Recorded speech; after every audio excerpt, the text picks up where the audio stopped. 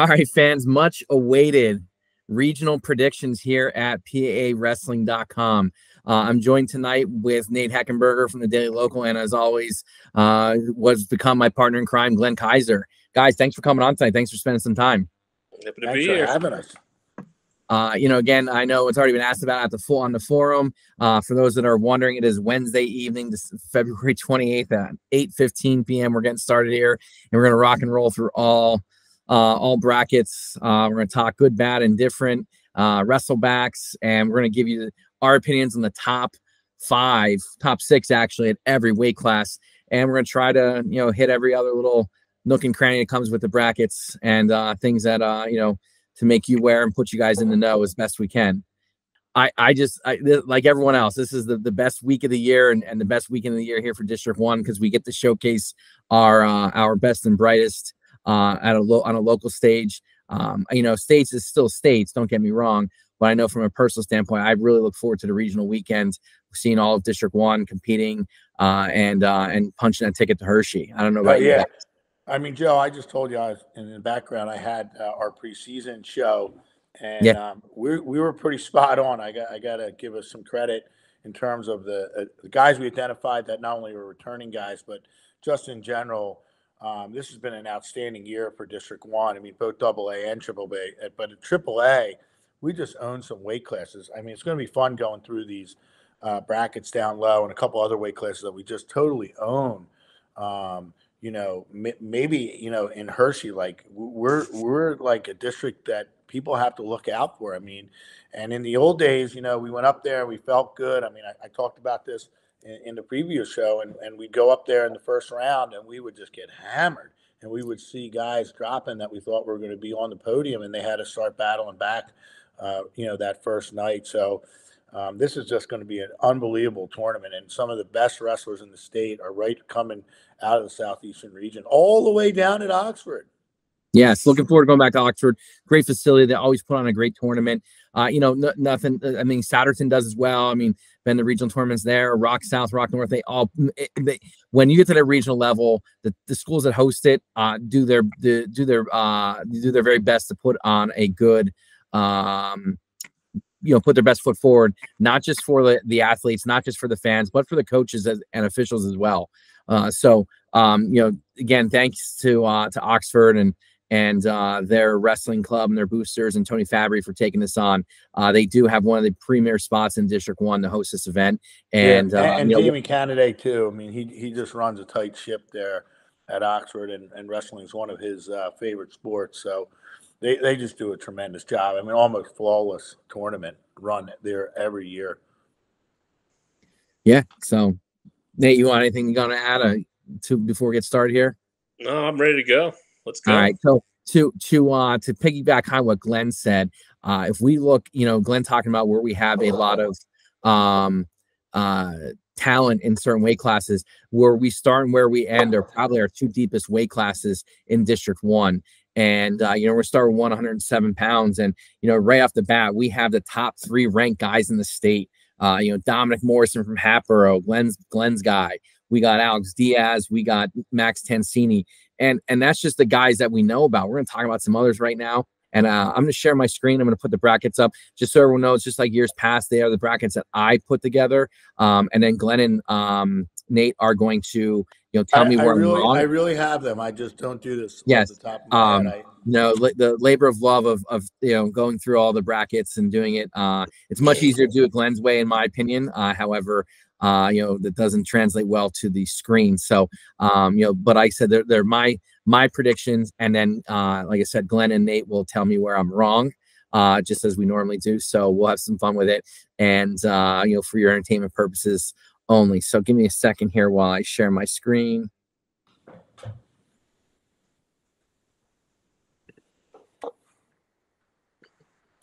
So we'll start with the top half of the bracket. Hopefully, uh, you guys can you see the screen now? Yep. Yes, sir. Okay, cool. So that means everyone else can. So uh, if you see, you know, you can look right on, see where I go with this uh these first round matchups. Max Tansini, the one seed returning state medalist from Perk Valley, 35 and 2 in a year. One of those you know, um, uh, you know, I think he, I think it's it's his weight class to lose. Um, you know, I think others are going to disagree with me. A lot of people giving Dominic Morrison uh, his due, and, and he is a super talented freshman. Don't get me wrong. I'm not going to take anything away from from him. I got to see him wrestle. That semifinal between him and Diaz is going to be an absolute war.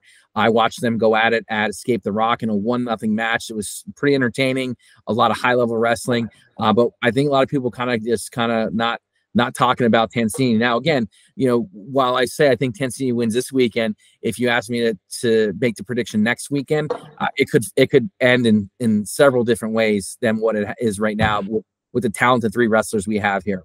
Um, but if we look just a little bit further into this uh, bracket, I uh, Bryce Boyer makes the semifinals in his uh, in his freshman year. Uh, Dominic Powell gets the win in the first round, but um, you know he's going to run into Boyer, and Boyer's going to be too much for him. Uh, it's one of those situations where you know Boyer's just been in way more tough matches than Powell has been. Um, you know Dominic Morrison, Eddie Alvarez getting a tough draw there. Alvarez, who's enjoying a great second half of his senior year, really impressed with him as a uh, as a senior in this Council Rock South lineup. Again, another one of those guys that kind of had to wait his turn, and he's making the most of it. Um, the I think the the best match of this first round at uh, um in this weight class is going to be the Brent Sislov Darren Minakosi match. I, I apologize, I'm not saying that correctly. Uh, this one's kind of like a toss up. They can go either way, but you know Minakosi with just a lot more matches under his belt, uh, and you know just a, a hungry freshman there from Sun Valley, uh, taking out the senior from Springford. Uh, McFadden and Diaz round out our quarter finalists, and you see uh, while McFadden is going to have, um, you know, I think a lot of success in the future uh, at, in District One for Pennridge uh, this year, it's going to be a bit of a struggle. I think, um, you know, in this weight class is just so loaded. Um, you know, Diaz and Morrison. I have Morrison beating Diaz and Tansini winning the finals, but this is where you know the tickets are really punched here. Whoa, whoa, whoa! You, you can't, you can't. Oh, my bad. I was gonna get my. Yeah. Whoa, sorry, my I bad. I know you're trying to scoot down low there, but we're. Oh, I'm not to, trying to. I'm not shying away from anything, Glenn. I know where this is going. Yeah, we're gonna have to address this. Um, so first of all, I agree that uh, I have exactly the same way to the semifinals. Um, I do have Morrison beating Diaz as well. That is going to be a key match at 107 pounds, not only for seeding at states, um, but for competence for for both those guys. Um, Morrison has never lost to Diaz um, throughout his career, and, and that's you know something that he he is probably going to be in his head. But um, Tansini and Morrison is a really an intriguing matchup. Tansini and Morrison have not seen each other, and this is where I go to the strength of schedule. Um, Morrison has seen the best of the best in uh, Pennsylvania uh, and at the national ranks. He's wrestled Bachman. Uh, he beat the dude from Central Dauphin. He has wrestled everybody in the top three. Are you four, are you talking about strength of schedule and illegal schedules too, or just strength of uh, schedule yeah, overall? it, it, it, didn't take you long to get there. Um, so it really uh, it, it, really comes down for me to that Morrison has been battle tested all season long, and Tansini has that one loss, so he's got a chip on his shoulder to you know that he losing to Diaz early. Um, Diaz held that number one ranking for a while. Uh, so did Tansini for a little bit out of the gate until Diaz beat him. So these are three of the top guys in the state of Pennsylvania in AAA. Um, so it, it's going to be uh, a tremendous weight class to, to keep your eye on. But I have Morrison winning here. Yeah, I agree. I, you know, of the of the kids I've seen at this weight this year, Morrison definitely uh, showed me something. Escape the Rock, uh, very impressive with the freshman. Obviously, Tansini, you know, state medalist returning. Um, got a great pedigree. I think Morrison's up for the fight. It seems like he he didn't get phased too much in the in the big spot there to escape the rock, and like you said, he he wrestled a lot of tough kids this year. Um, you know, just bringing it up, you know, not having Braden Siegel there, who, who wasn't able to make weight last year. I don't know if that changes the uh, the semifinals at all, but definitely on the bottom half and the consolations, not having him kind of opens up a spot for one of these other guys to kind of slide in. Uh, but yeah, I think Boyer makes the semis. Uh, yeah, I think I think your semifinals look look right, and yeah, it'll be it'll be a fun a fun final for sure. All right, so let's jump jump down to uh, the wrestlebacks. Um, you know, a lot of those quarterfinal win, or I'm sorry, those first round winners are really at a disadvantage because of the the um just how tough this weight class is, with the exception of Eddie Alvarez. Um, I really think Eddie Alvarez, you see him there uh, coming out of that um, all the way from the left and uh, against Brady Sizov. Uh, again, beating Powell Alvarez. Uh, again, top to bottom, coming out of uh, his schedule with Rock South, wrestling Powell from Upper Dublin. Uh, just no comparison as to far who's been more battle tested, uh, who has better partners in the room. Uh, Alvarez beating Kramer, uh, losing in that Rock South, Rock North matchup to Diaz, uh, and then Alvarez McFadden, who have had two very unique um, uh, results. You know, McFadden pinning him early in the year in a match where Diaz or Alvarez was winning, and and then Diaz coming. I'm sorry, Alvarez, excuse me, uh, coming back at District Duels and beating McFadden uh, in the championship match. Yeah, but I, I think I think I, McFadden say, I mean, gets his uh gets you know gets out um when it when it matters most. Yeah, I mean, I I, I have the Boyer Diaz uh, in there for the the consolation final with Diaz winning, um, but I have a little bit differently. Um, I don't know if you've seen uh, Dominic Powell wrestle Joe, but um, he is he's a he's a very solid grappler. Um, he's had some good matches with uh, Morrison. Um, he, he's gotten uh, the matches have tightened up a little bit with Morrison. Uh, the last couple times they've met, um, and I have I have Powell uh, beating uh, Alvarez, and, and, that changes things down there because Powell gets by Kramer uh, no problem, and I do have Powell in there against McFadden. And if you watch McFadden the end of the season, he has not been where he was at the beginning of the season. Uh, state duels, um, he, he didn't really uh, shine uh, under the big lights there on the Giant Center floor. I, I just feel like he ha- he's feeling some pressure. Um, he's not really opening up. Now that could change because you know things happen at regionals um, that we, we, don't expect. I mean, it happens every year. I don't know where it's going to be, but I, I think Powell, um, he, he's up for the challenge. I, I think you're going to see um, a, a, different bracket down here, and Powell could be that bracket buster. I, I don't. I don't know, again, man. It's not Powell... because I coached at Upper Dublin and he's from the SOL. It's just because um, I've seen him wrestle uh, the good competition when he gets it. Because this is a, like you said, this is a strength of schedule thing that you're bringing up with Alvarez and Powell. I just think Powell uh, may surprise some people. So keep an eye on that. Um, that's all I'm saying. And I do have Powell beating McFadden just because I think Powell's on a roll right now, and McFadden's not where he was at the beginning of the season. Uh, Powell's wrestled one regional qualifier this year. That's okay. So I'm I'm, yeah. gonna, I'm, gonna, I'm gonna go with I'm gonna I'm gonna stick to my guns. I just think McFadden, you know, with obviously with Martinelli staying at 114, that was just a blessing in disguise to get you know those two guys at, at really uh, key weights there. I think McFadden, you know, like you said, he, he did wrestle at states at the state duels. You know, he, he won a big match to to help them win a big dual meet there. I think, uh, yeah, I just I think I just trust the Pennridge schedule and the the Pennridge room a little bit more uh, taking McFadden for fifth place there. But I do think uh, even in the consi semis against Boyer, I think that's going to be a really good go. Uh, I think you know Boyer is obviously very tough, but I think uh, I think McFadden is going to push him there, so that'll be something to watch as well. Hundred percent, Nate. I think those. I think overall those um those consi semi matches are going to be pretty tough with um uh, you know those four wrestlers if, if those four make it. I mean, don't count out uh Minikazi. Don't count out um you know him his way in in there some way, shape, or form. Um, you know, he's had some uh, pretty good wins this year. Yeah. Uh, so um, yeah, he's he's dangerous. I mean, I think yeah. there's a bracket there's a bracket busted down low here somewhere. Could be right. Minikazi too, because you know Minikazi and McFadden is going to be a great one too.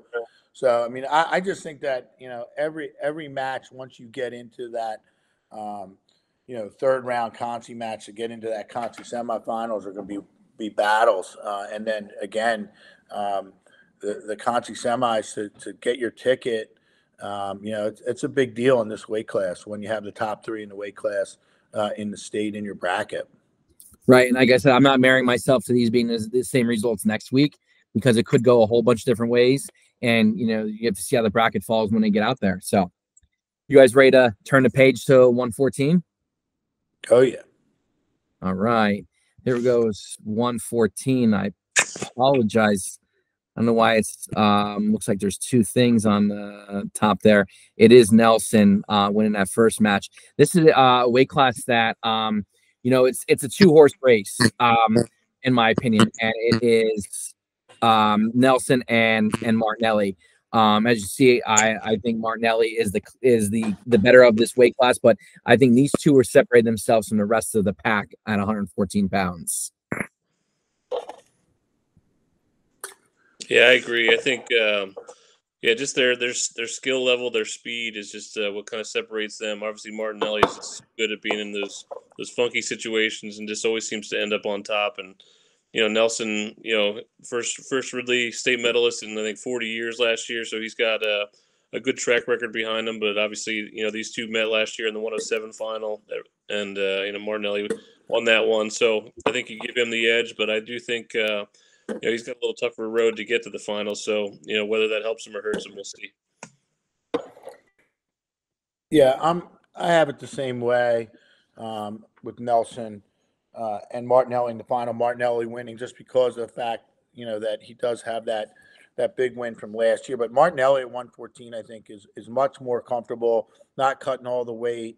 Um, he seems to look like himself now. Um, I, I, think he's, you know, kind of in that groove and, and kind of peaking at the right time. So Martinelli, uh, again, you know, obviously if he was down at 107, that would have maybe put McFadden up here at 114. So team wise for Pennridge, uh, for them to be in the hunt for a, a, Southeastern Region title. This helps big time with Martinelli at 114. Um, in terms of the, you know, Marco loss, um, you, you, have, you know, getting into that semifinal, and I have uh, it a little bit differently um, there. So that that's the only difference. I have I have Smith winning uh, there and Smith getting into that semifinal. So that's a big change then down below. Uh, but I do have Lenahan, you know, also there. So the loss. We'll get to down below. I'm glad you brought that up, Glenn, because that Gus Smith Marco loss match is probably one of the top top three to uh, five matches in the first round that we'll see Friday night. Which oh yeah, hands um, down. Yeah, you know, I mean, like you know, you look at it and like Marco Loss is the fourth place guy out of the East. It just tells you how deep that weight class is. Um, but I think the winner of that match does make the semis. And and again, I went through that one numerous times, and uh, I think Marco Loss gets to gets to win there. Uh, has had a little bit better uh, competition that he's wrestled against this year. Um, you know, and he's surrounded by better partners than Gus Smith is this year. You know, this was a year ago uh, in that Springfield room, and a little bit. I look at it a little bit differently, but I think um, the um, Marco Loss has has just guys that are pushing him a little more in the room on a regular basis. Yeah, um, Council Rock, Council Rock North is you know they they caught fire the end yep. of the season, um, and they have a, a handful of guys you know these lightweights all the way up to cement, um, and they're all banging in a room together. Like you said, that's a great room. So yeah, I, I agree. I, I Another one to watch out for in the first round at this weight class is the uh, John Diorio Kyle Von Schmidt match. Since yeah, Smith, I was going to say the Von Schmidt to... one, I, I I I have Von Schmidt there too, um, but again down below, you know, with Von Schmidt against Tulane down there. I mean that there there's a lot of this, is a bracket I think that we're going to see down below look different probably on all of our uh, sheets. Nate, what do you have down there?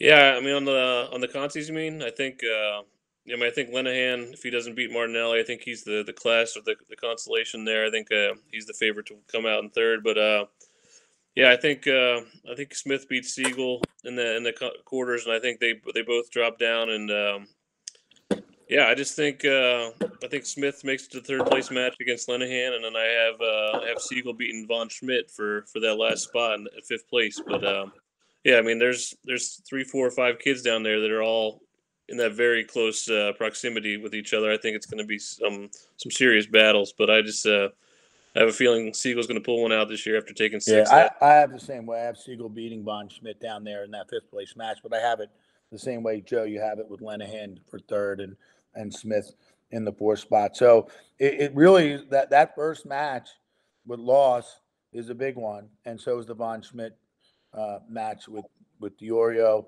So we'll, we'll see. I mean, this this is one that again we have legitimate, you know, top contenders here up and down the bracket. It's not just the, the top guy with Martinelli.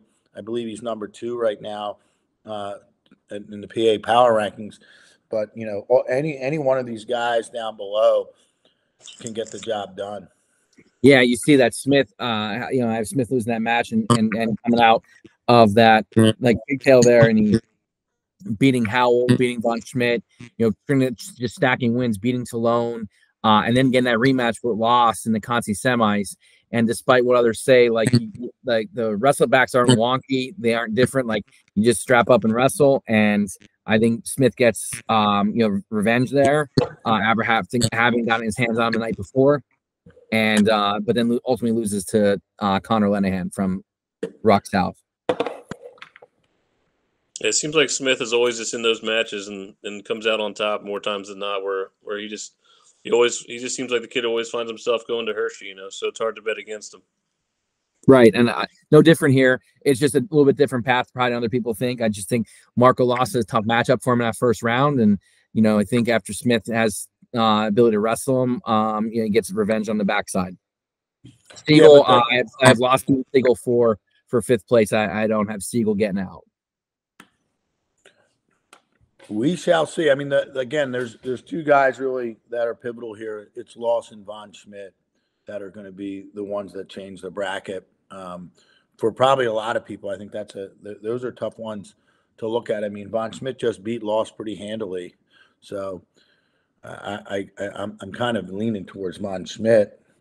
You know, getting getting through there and, and Loss not being there, so it, it's going to be interesting. It's going to be interesting.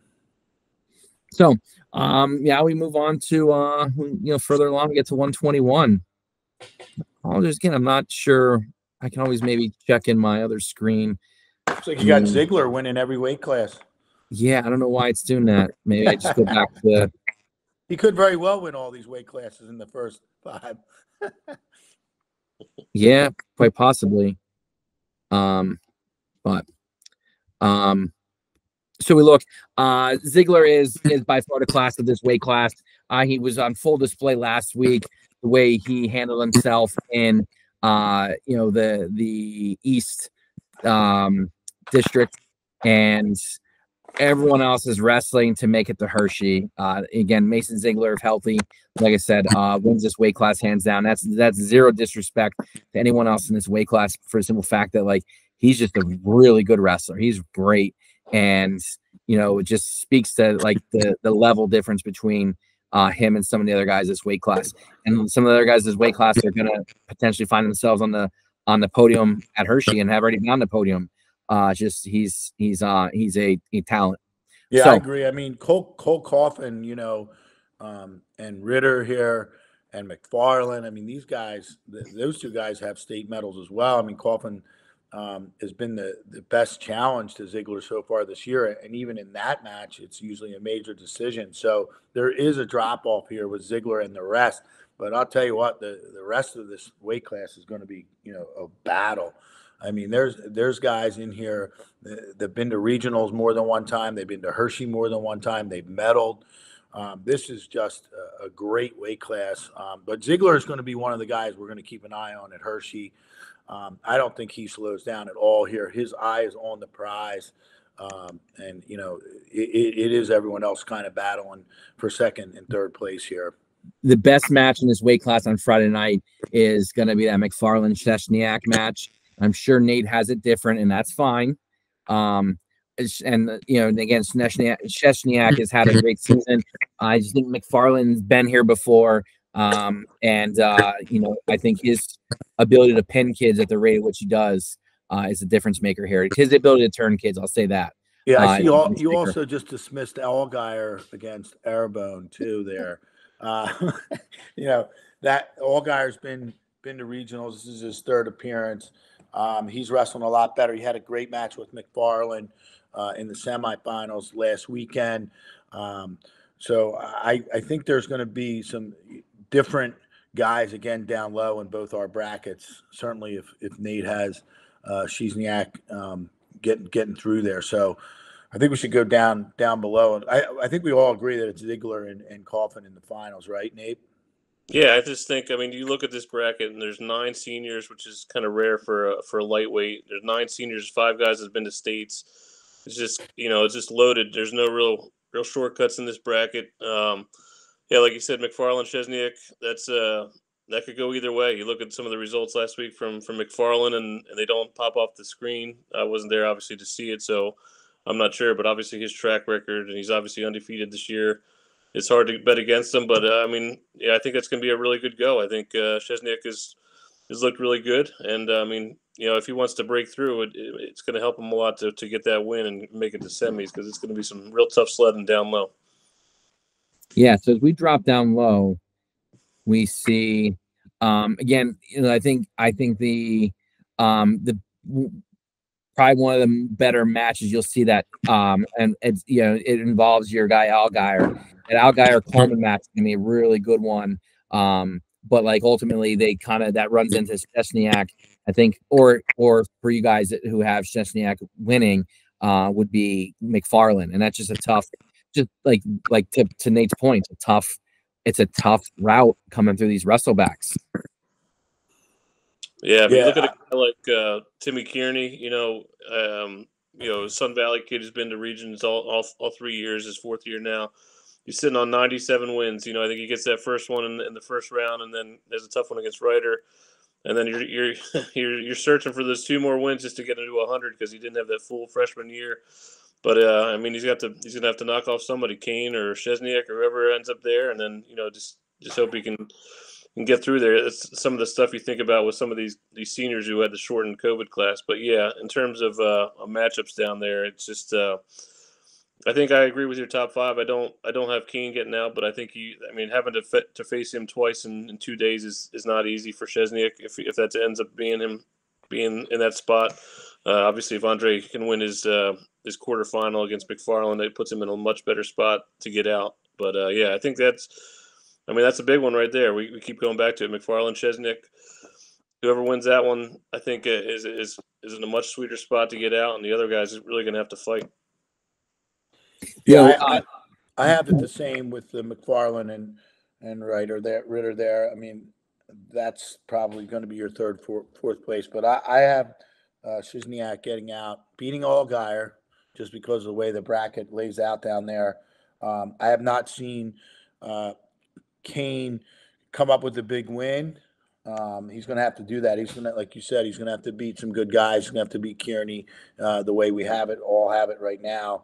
So, um, and, and Arabone or Allgaier whoever's there. Um, so it, it's going to be, it's going to be interesting um, on on what this bracket looks like uh, after the quarterfinals. I think that's where you're going to see uh, this bracket play out. But uh, again, this is a a bracket where we're going to see state place winners coming coming out of 121 uh, from District One. So to to Glenn, or I'm sorry, Nate, to you to what you said about Kearney, you know, you, you, feel for a guy that didn't get the full freshman year because of COVID and he's on the cusp of that 100 wins. You know, sometimes you have to sacrifice that 100 wins to make states, you know, wrestling tougher competition. Uh, but he could have the best of both here. If he gets those, if he gets to nine, he gets to 99, he, he'll have two chances to get to states and get that 100th win, which would be pretty cool. Yeah, I mean, I think if he can beat Kane, if he can pull that upset, I think he has a shot to make it to the consi semis and and he's right, 100%. I mean, the winner of that Kearney Kane match wins the next one, in my opinion. Yeah. So I mean, so. he pulled enough last year was against uh, Heimbach, I think, right? So yes, I mean he, he's he's been here before, but obviously it's uh, it's going to be well earned if he does it. So. All right, uh, he's got a little more to wrestle for. So I don't know, uh, you know, if I had that information at the time, maybe my bracket looked a little different. But you know, uh, I I did it straight up. I did it without any of the uh, uh, outside st- um, stories attached. So let's uh let's move on. Let's get to 127. And again, this download, maybe I go back just to the uh, the original website from which I annotated the brackets. Uh, it does say Semmens, as you can see. Uh, I think with the with the vacating of um, um, Ziegler, this um, at, well, Mutarelli, that's a whole other story we can talk about. Uh, but not having Mutarelli or Stem, um, Ziegler in this weight class, it, it is Aaron Semmens' weight. Uh, although Woloshyn has been closing the gap on him. Um, I just think it's still it's going to be Semmens' weight to lose. Um, I think Dalton Pedro wins his match over Ryan Hayes. Uh, Warkentine getting a win. He's been there before. He's been in the States. Uh, Zach Jaffe not only wins his first match, but also then Warkentine to get to the semis. Uh, Quinn McBride and uh, Isaac Williams, I think, you know, his experience of Ben being here before uh, gets him that win on the first round over um, Islinski from Boyertown McBride went in there, and then uh, Murray beating Plant, um, and you know, talented freshman from Upper Perk that kind of flew under the radar. You know, 34 and 7 as a freshman. Upper Perk does not wrestle a uh, you know, they're not they're no way, shape, or form do they have a cupcake schedule. They they wrestle, they get some good competition and they're doing some good things up there. And then uh Woloshyn with Woloshyn, McBride, Jaffe, and semi semifinalists.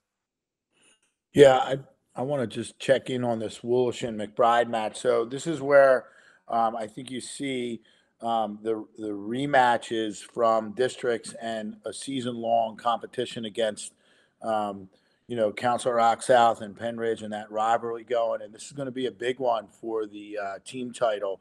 Um, I have McBride uh, getting the best of Woloshyn here.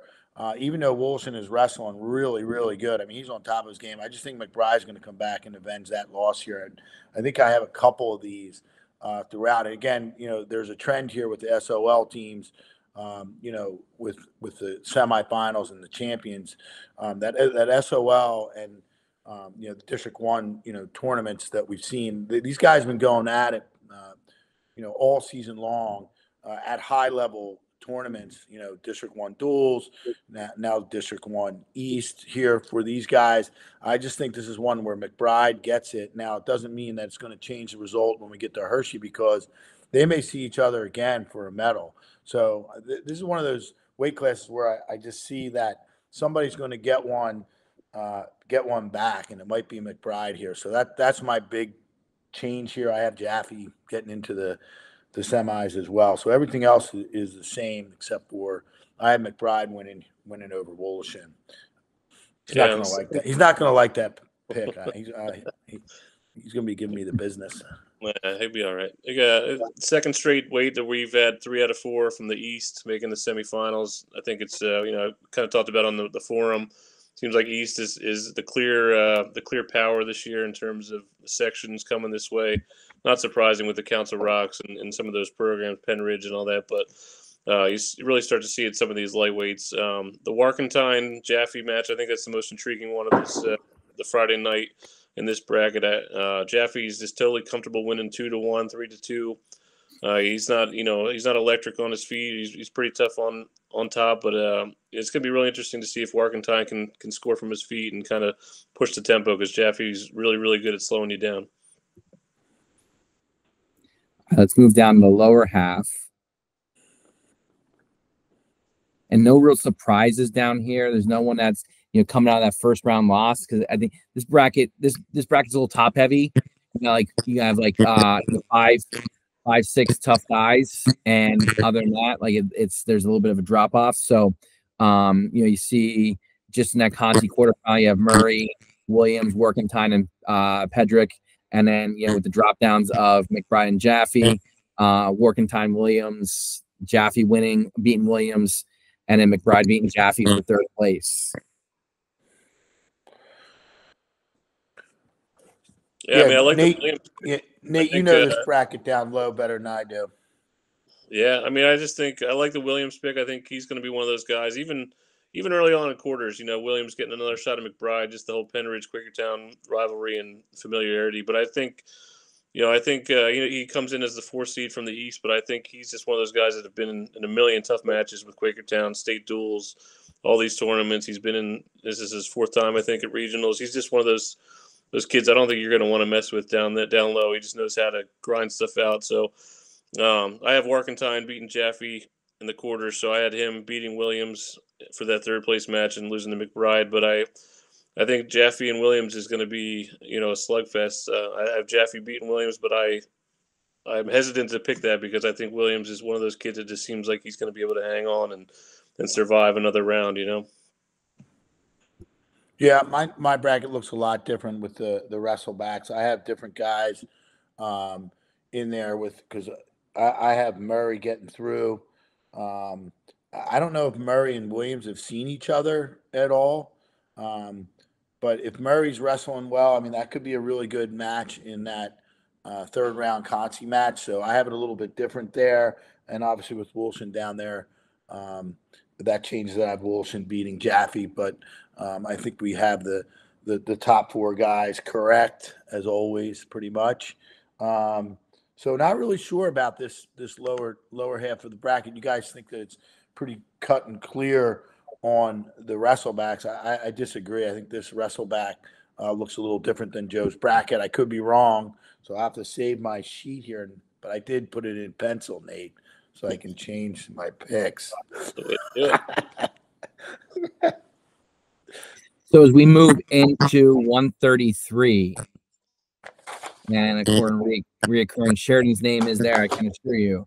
Uh, if we look at this weight class, we have uh, again Gavin Sheridan is the I think is head and shoulders but ever above everyone else. And then I think there's the next level where like you got uh, Rosansky and Dennis in that level, and then there's another level where you get into some others like Ford, Strickland, Brandt, um, and then there's uh, you go below that, and then you have um, you know guys below that. So uh, as you can see, I've Sheridan winning it. Um, again, with Mutarelli gone, this was this became Sheridan's weight class, and uh, you know he he is he does so many things so well um, uh, when wrestling. He's he's so tough on his feet. He's tough to score on. He's physical. He's tough on top. He's opportunistic. If you make mistakes, he's going to make you pay for it, and it's hard to keep him down. You know, he's by far the most physical wrestler in this weight class. Um, you know, and um, it's there's no re- there's no surprise why he's the heavy favorite to win it. Yeah, a little uh, little trivia with Sheridan. He's got a shot to become the second kid from Boyertown to be a four-time uh, state qualifier. Either of you guys know the other one? Jordan Wood. Nope. nope. Jordan Wood was not a state qualifier senior year. Oh, that's right. Uh, let's see. Who would that be? Alec Pellicati? Nope. Uh, one of the little guys. he might have been a twin. Oh, uh, Jacob Campbell. Yep, there you go. There you so it's go. kind of surprising, though, just uh, you know the, the long history of Boyertown that only one guy has made it to states four times. Obviously, Gavin has a, a really really good shot to do that here. I agree with. Uh, I think yeah, I agree fully with your bracket. Um, you know, it's interesting to see. You know, we talked a little bit. Avon Grove was a topic on the on the forum this year with, the, with their schedule and district duels and this and that. But Christian Ford obviously having his best season, thirty three and one. Uh, I don't think he he matches up well with Sheridan, but I do think uh, he's going to be right there in the mix, and you know, he can make it to semis. That's that's a that's a big step. Um, obviously, just for him having a little bit more expectations this year with that record and being a senior, I think he has to make it to semis, and if he doesn't, it, it's going to be a really long, long road back. So, I think he's in position to. Obviously, he beat Richmond last week, so I think Ford gets there. And then, yeah, I think it'll be interesting to see, you know, how much horsepower Dennis has in the finals against Sheridan obviously a very skilled wrestler, but you know Sheridan is so physical and fast, and that'll be a, an interesting matchup. Yeah, I have it pretty much the same way. Obviously, I have Stall beating Whitaker. I mean, that's just the way it is because he's hot. Um, OW. Yeah, I mean, he, he he beat the one, two, and three seeds. I mean, that that rarely is done in any tournament. Um, and he comes in hot. I mean, I know Whitaker um, has some some good. Glenn, Glenn, he did it in the South. He did What's it in the that? South. He, did, he beat the one, two, and three in the South, not the East. Uh, that's okay. So let's just talk a little bit about the Dennis Rosansky match. I mean, I have it the same way. Obviously, I have Sheridan, Ford, Dennis, and Rosansky. Dennis beating Rosansky, Sheridan uh, beating Ford, and Sheridan winning. I mean, Sheridan's in a class of his own here in the in in southeastern region. Uh, he's just a machine. Um, very very sound fundamentally, tough to score upon, and he is tough as nails. So there, there is a little bit of a drop off, but I am interested in the Rosansky Dennis match. Rosansky comes in with a lot of experience. Um, you know, not only at regionals, but he's been to states, and uh, that's that's a great semifinal. I mean, we look at semifinals, um, and this is a weight class where this is a really really good semifinal. So um, I do have Dennis winning, but uh, that's one I circle to to make sure I'm on Matt's side for that one. Yeah, I mean a one nothing loss to Sheridan last week. Obviously, an impressive loss for Rosansky. Uh, yeah, he definitely makes you earn it. Yeah, I think uh, you know Rosansky. I, I don't know if he's going to score enough points uh, on Dennis. Um, you know, he's tough in a lot of positions and doesn't really, uh, you know, in those in those tough matches finds uh, difficult to to score points when necessary. So, um, you know, like I think uh, you know we can term him as guy doesn't really wow you, um, but wins those grinds out those close matches. I think just Dennis is going to have uh, a little bit better of the situation. So let's look at these wrestlebacks at, at 133 pounds. So um, I, I, I should be I would be remiss if I didn't mention it. Um, the McGran uh, Brant match uh, is a rematch from last week, which we saw a couple of them, or we're going to see a couple of them. Um, they'll go they go back and forth, and that that particular um, uh, match, I think, puts that the winner of that match puts them in position to make that five six match. Um, the winner of it rather. So uh, with you see McGran coming out of that, you know, first round consolation beating Hilton, beating Whitaker, um, and then you know coming up against Strickland from Sun Valley, and you know, Strickland just a little bit too much for him, which feeds in the Ford, which is like their third or fourth time wrestling this year. Ford until Strickland shows me otherwise. I, am gonna go with Ford having the best of them there. uh, Ford overcoming his schedule uh, to make it to states, um, and then uh, you know looking at the bottom, uh, you know, you have Brant and Richmond. That's a rematch from earlier year, which Brant won 15 to 4. And then Brant Rosansky, which is a rematch from last week. I'm going to go with Rosansky because, and he's been here before at the, all the points that you guys talked about earlier. He did beat Brant 2 nothing at, at, districts. And then Brant Strickland, I just think Strickland uh, has uh, the experience factor on Brant. Maybe he might be just a year away uh, after enjoying a great junior season, making that jump. Uh, just comes up a little bit short. Uh, yeah, I think. Uh, go, go ahead, Nate. I uh, yeah, I agree uh, with your third and fourth right there. I think Ford having to wrestle Strickland again, it's a tough break for both those guys. Uh, you know, just uh, they know each other really well from from Kraken and all that, and it's just a yeah, it's tough to beat a guy that many times in the same year. And, and Strickland obviously having the revenge factor. That's uh, it's tough tough either way. I think uh, I think Marcy's a guy to, to kind of keep an eye on down there, just with the the teammates he has to practice with.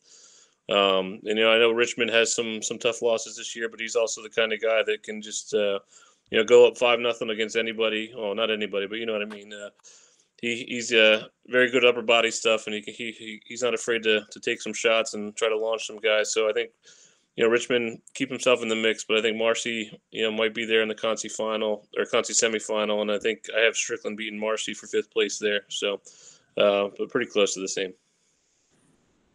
Yeah, my my bracket looks a little different um, in the down there for fifth place, but certainly Ford and Rosansky going for third place. I have Rosansky winning there, but I mean that McGran Brant match for me, I have, I have McGran winning up top there, um, and the Staub, so that changes things for me. Um, and I have Strickland against Richmond for that fifth place match, so it looks a little bit different for me.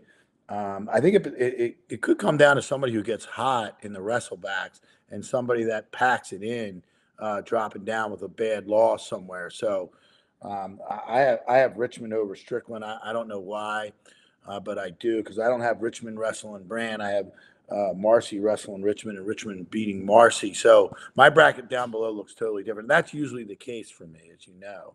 But I, I might be right on this one. I don't. I don't see Brant going for fifth place. E- e- either way, if he wins or loses that first one. All right, gang, we're back. We're gonna start back with 139. Uh, you know, the storm's going on. I lost power for a second and uh, just turned everything off. So we're jumping back in. I'm gonna start sharing. We're gonna go right to 139, uh, where this weight class is gonna another weight class is gonna be a lot of fun. And I, you know, we just talked a little bit off camera when we got back on the call that we think uh, we're gonna have a lot of different opinions on how this um, uh, bracket falls. Um, again, I I will go with Pat Kelly from CB West winning this one. Um, but there's so many ways to go. You got uh, probably five guys that could five different guys could win this win this weight class. Apparently, get hot between Blake Boyer, Pat Kelly, Johnny O'Brien. Uh, don't can't throw out Luke Knox, uh, even Jake Neal. Uh, so maybe we go as far as six. Um, you know, five to, or five five deep here. Um, and then you throw in other tough guys like AJ Bott, Hunter Delaney. Um, you know, Chris Nesbitt has been at regionals a couple times, and so it's just a it's just a uh, Beck Babb. Uh, it's just a weight class that is uh, has a lot of uh, a lot of solid wrestlers, uh, and no like no hammer like a Ziggler, like a Sheridan that we've seen already. Um, that is uh, you know odds on favorite to win the mat to win the the, the weight class. Yeah, what do you guys? This, this weight class is crazy. This is the most wide open weight class of all District One in the southeastern region. Um, I have it a little bit different. Um, but again, this is it, it, could change quickly because again, this is that um, O'Brien, Kelly, Neal trio coming out of the the East. Um, on any given night, uh, one of these guys can beat the other. But Neal has proven that once he beats you, uh, he can keep that thing going, and and he did it with O'Brien. Uh, I have a feeling he's going to do it with Kelly here, uh, and he's going to get into the finals against O'Brien and win. So I have Neil winning over O'Brien. Uh, but again, uh, that that match is, is huge. Um, and, and, don't forget, like you just said, uh, Nesbitt's a pinner. Um, he he he's powerful. Um, I don't think he's at the same level uh, as some of these other guys in terms of the the pure talent and and wrestling ability. But Nesbitt, uh, he's explosive. He can pin. He's got a great cradle. Um, he's dangerous. So it, this is wide open. But I have Neil beating O'Brien and, and beating Kelly again in a rematch. Uh, two rematches from. I mean, we're talking. These guys have gone at it in leagues and they've gone at it at districts and they've wrestled in the uh, regular season. So this is like the fourth time around already. Uh, and I got Neil uh, just with the experience uh, from getting states last year, winning the regional title. Yeah, right. and I need anything to add? Completely different there too. I uh, I actually on the top half I have Boyer beating O'Brien to make the finals. Uh, close first match in overtime, and then the second one was a seven-one win by O'Brien. So that kind of uh, maybe scares people away. I just think Boyer's been thinking about that one for a while now. I think he figures it out. Obviously, you know, being here last year and that big, big pin against uh, Quinn Smith, he's he's been in the big spot before. Um, on the bottom half, I, I, actually have Delaney beating Kelly to make the semifinals. Uh, they wrestled last year regionals. It was nine three win by Delaney. Obviously, Kelly, you know, has gotten a lot better this year. Had a big uh, escape the rock tournament, so um, you know, all of these obviously, I think they're you know not to not to take a cop out, but I think these all these semifinals and potential semifinal matchups are. I don't think there's any favorite in this match in this in this bracket. So uh, we could all look like idiots, or one of us could look like a genius. Who knows? But I think Neil has been the most consistent. Just uh, you know, looking over his career, you know, wins over Coons, over uh, you know some of these other guys, O'Brien just has a lot of tough wins to his name. So I think he's the the most trustworthy kid in the bracket. So I'm going to go with him uh, for the for the win. But I think, uh, yeah, I mean, I think there could be a lot of variation depending on who gets hot. And I think, yeah, like you said, Knox.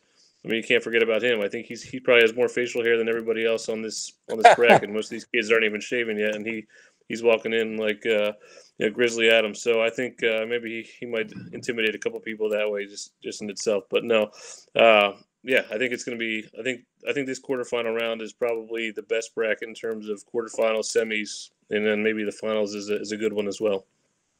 Yeah, Joe, slide down because this is yeah. going to get really interesting now with your bracket. Right. Um, you know, looking at just those those first round guys, uh Beck Babb losing a first round match, coming out being uh I, I have him making that consi quarter, then losing Hunter Delaney uh, who gets Boyer in that consi semis. Boyer beats him, and uh, Knox coming out uh, after drop the drop down, beating Scheibel, beating Bott. Uh, you know, Knox and Neil. Neil beats Knox. Neil beats Boyer, and Knox beats Delaney to get out of um, the region, get the state to the freshman.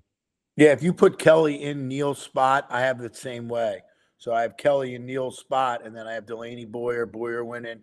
I have uh, Kelly Knox, Kelly winning, Kelly beating Boyer, uh, and then I have Delaney and Knox, and I have Knox winning.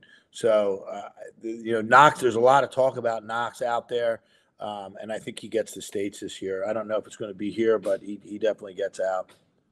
Yeah, uh, you know, again, you, the Neil and Kelly debate, uh, flip a coin. You know what I mean? I think it's that close. I think it's gonna be a tough, hard fun match. Just going with Kelly. Um, you know, just a gut feeling. Just uh, you know, it's what just again. I was one of those another one of those one the decisions I stewed over a little bit back and forth, but ultimately decided to go with Pat Kelly. What do you I got, O'Brien taking third. I got O'Brien taking third over Delaney, and then I have uh, Kelly sneaking in over Knox for that last that last spot. So, uh, yeah, I mean, there's six six guys here that all deserve a, a, a trip to to Hershey next week, and it's going to be Nate, uh, Nate with his Ches-Mont glasses on in this hey, class. I mean, listen, Glenn's not the only one allowed to have a little home cooking. I got to stick up for my West Chester guys. Uh, you mean Sun Valley? Isn't Oh, that Sun where he goes Valley, to school? Seven. Yeah, Yeah, I thought, I thought, I, you know, I, then they moved to Sun Valley.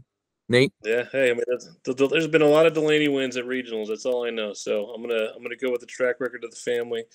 I think we got uh, six state qualifications from that family so far. So we're gonna make it a seven on this one. Joe loves to stir the pot, doesn't he? Stir the pot, Joe. Get the rankings going. Get the ratings going. Let's go. oh, there's there's plenty of stuff on the forum that that uh, I don't need to interject anymore. Uh, so not no one can go on there and speak logic. So, all right, let's move to 45.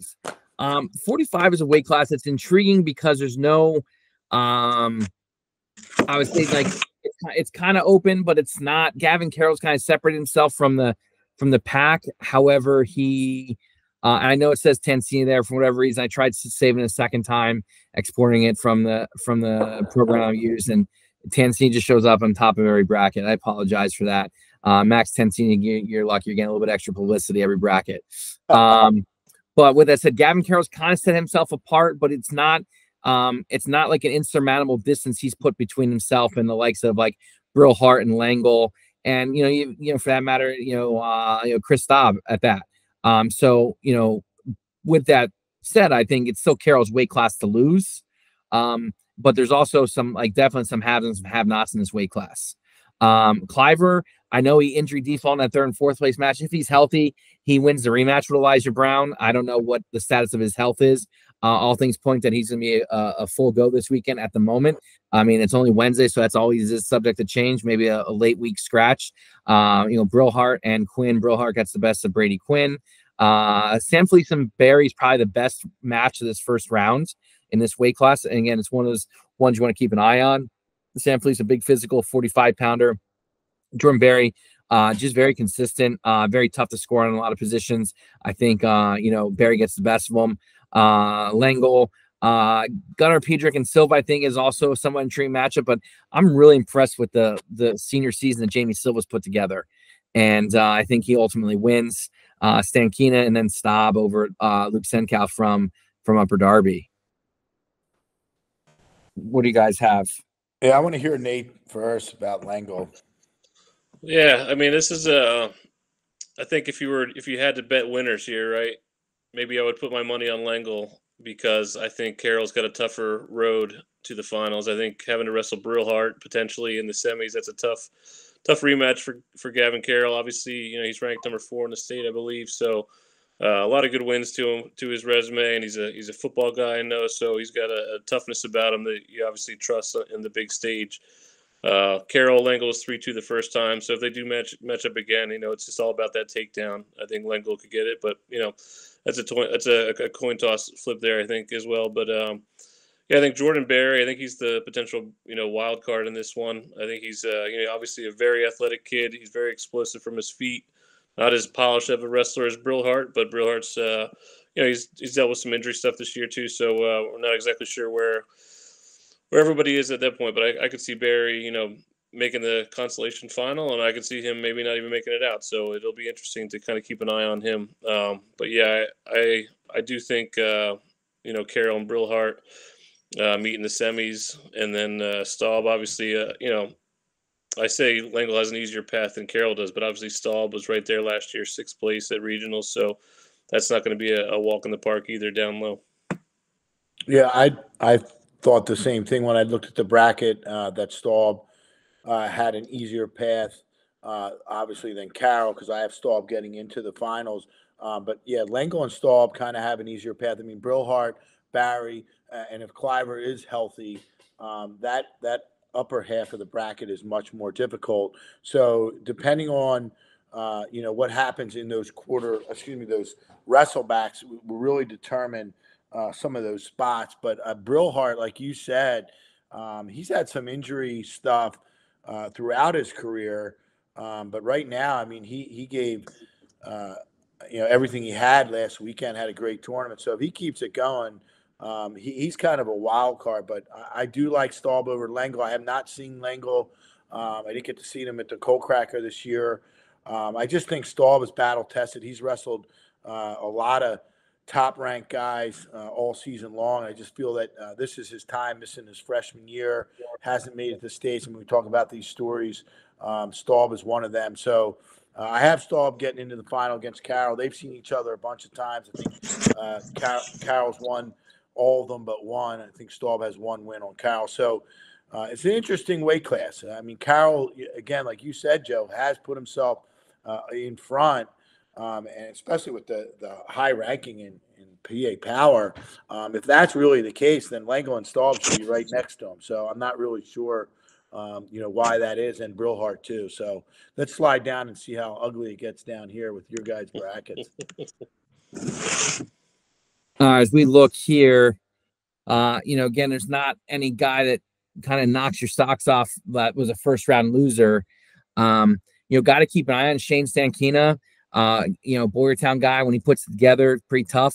I see him uh, making that fifth place match, ultimately losing to, to Jordan Berry. Um, you know, with Staub and Brillhart wrestling for third place, so I never filled it in. Uh, I got Brillhart beating Staub for third place. Um, but you know, Silva right there in the mix. Silva, Silva and Stankina have, have um, you know, sh- I think split. I think they're two and two, or maybe it's three one in favor of Silva. But I think when it comes down to it, Stankina's been here before. I think he makes the uh, necessary adjustments to win that match. Uh, Silva's biggest feather in his cap. He's pretty physical, and uh, you know his style clash with Stankina. But I think Stankina finds a way to get it done, but uh, then it comes up short making it to states.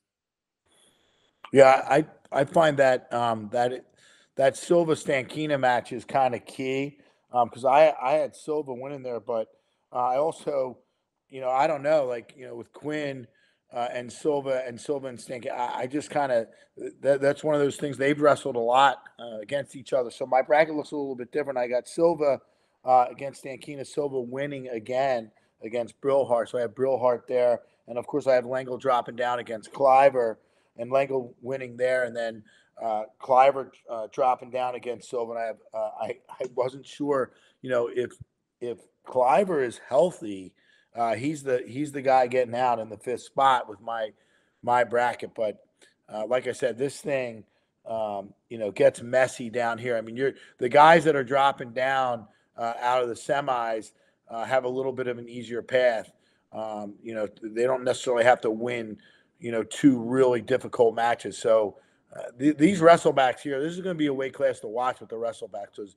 I'd say there's four or five guys here that we we might just be overlooking. Yeah, and to your point about Cliver, I don't know how healthy he is, and yeah. that couple that with the fact he hasn't wrestled a lot this year, I think that comes into play because you know there's there's gonna be no easy matches here. So I think fitness comes into play, and again, if he's not 100 percent healthy, it's gonna catch up to him. But again, if healthy, like I think every bit, I agree every bit with what you said about his ability to to get out. I just don't know where his health lies right now with that. Uh, seeing that medical forfeit uh, in that third place match last week. Yeah, Quinn's got a chance to do the uh, the pack pack redemption short tour going yep. against San Felice Silva and then Stankina if he wins all the way through. That'd be a be an interesting little run just for. Uh, it would note, be but, uh, um, he's he's closed the gap every time he's wrestled Stankina. Silva presents problems with him, as I uh, you know mentioned before, his physicality. Um, but like you know, Quinn had a, a big one over San Felice in the third place match last week. Um, and you know, again, at regionals, you throw all that stuff out the window. I think, you know, that match, Quinn and Silva happens again. I, I, I can see going either way. But uh, until I see, you know, Quinn win that match, I, am not picking against Silva. Yeah, and like I said earlier, I think Berry's just the ultimate wild card. I think he could. I mean, I, I would be surprised if he took third. I mean, not, I wouldn't necessarily predict that, but I think he's got the skill to do that. Um, but he could also, you know, uh, you know, take a take a tough loss and just not react well and not make it out at all. So I think, uh, you know, whatever his mindset is, if he's if he's got the right mind, I think he's I think he gets out this year. Uh, obviously, his last go downtown, but uh, yeah, uh, a lot of a lot of parity down low. Yeah, I, I think whoever's hot coming in here, like getting that that you know, big win over somebody is going to be the guy that kind of can wreck the bracket down here. Like someone's going to have to get hot. Um, so, like I said, if, if, you get into the semifinals here, you're in a good spot, and the wrestlebacks is up for grabs.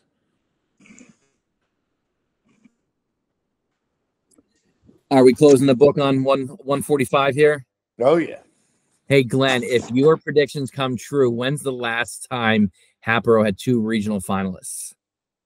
Mm, I don't even know. It's been a long time.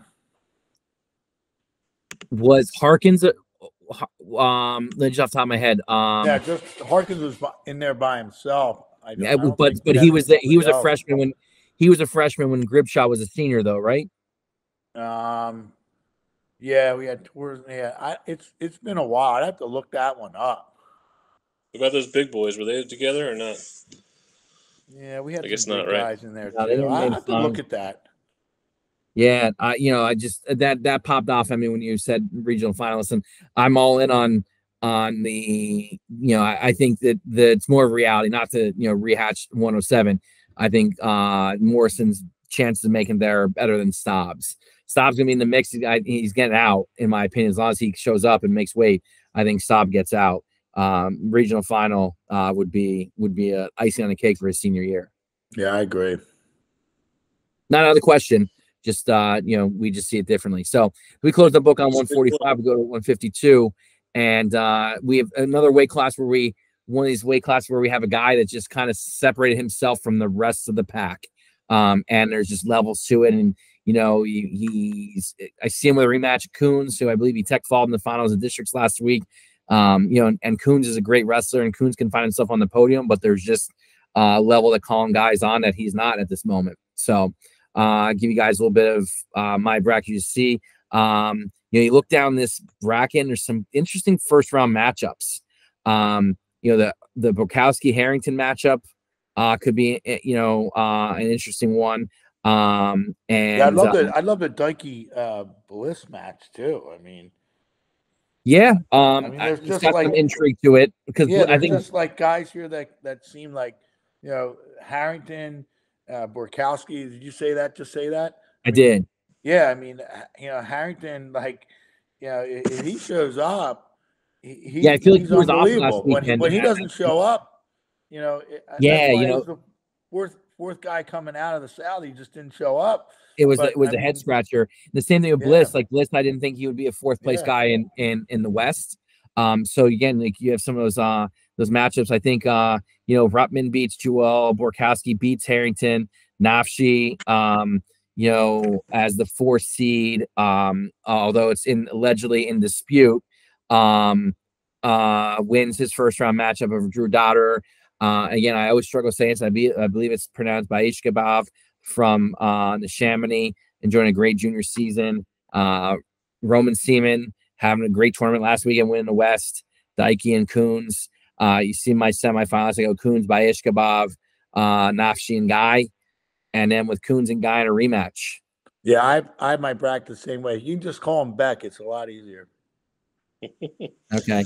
There's there, hey, there's only one there's only one Beck in District One, and it's not it's not him.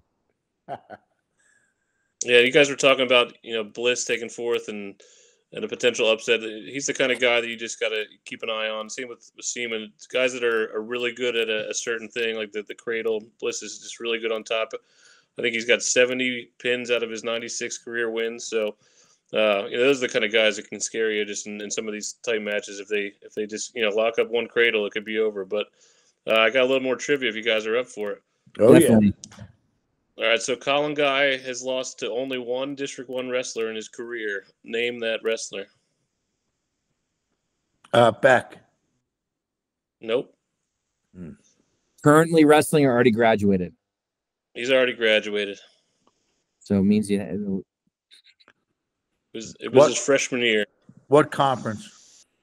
Uh, it happens to be the Chesma, Ches-Mont, the League of Champions. Mm. Let's see, freshman year is wrestles that in what? the One, city of Philadelphia. That's your final clue. He wrestles in Philadelphia right now. Ooh. Doug Ooh. Zaff? No, that can be Doug Zaff. Um, who am I Same thinking? Um, You wrestle for Penn or Drexel? Yeah, He the said- latter. Oh no, yeah. What's that? Come on, Joe. Know your trivia. Dom school as Doug D'Agostino? Zaff. No, Uh, never same mind. That's, school that's as not Doug Zaff. same school as Doug Zaff. Why am I drawing a blank? What Probably- weight class was it- he at? At 38? I'll just tell you guys because it's going a little far, but Dom Findora was the only one to beat him. Oh, beat him yeah. at What- freshman. Yeah, Wow. 38 pound, I think they were. So yeah, just I a little interesting tidbit. So I mean, not that you needed any uh, extra, um, any extra reason to pick Colin Guy for this tournament. He's obviously you know one of the best in the country, but uh, yeah, he hasn't lost to a District One foe in, in over two years. So I think it's a a pretty safe bet. It gets interesting down low, Joe. Though, so we all have the we Yeah. all have the same bracket. You have Seaman and Dikey too, uh, Nate. You have the same bracket. Yeah, I think so. Alright. Yeah, you trust the Boyertown kid there. Yep.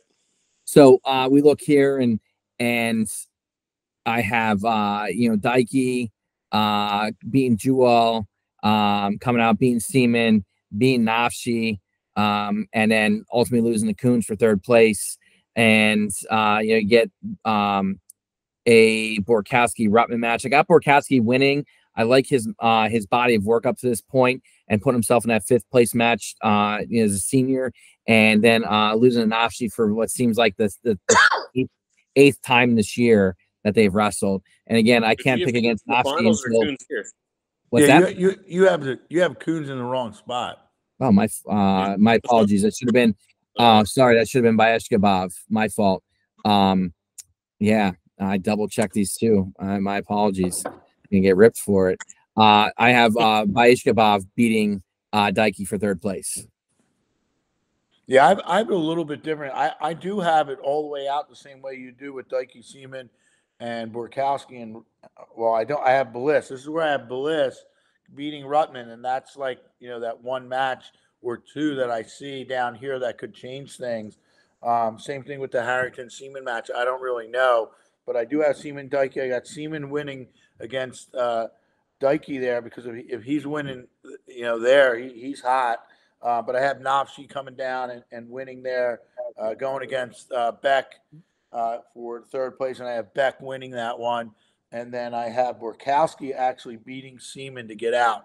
So it's you know it, it looks a little different, um, but again, I, I'm I'm very interested to see uh, the wrestlebacks here. There's not a lot of times that you look at the wrestlebacks as being you know way more exciting than those you know, the semifinals, some of those quarterfinal matches. But this is a weight class where uh, there's going to be some battles down here, and th- this is a wide open class after Coons and Guy, uh, in, in my mind.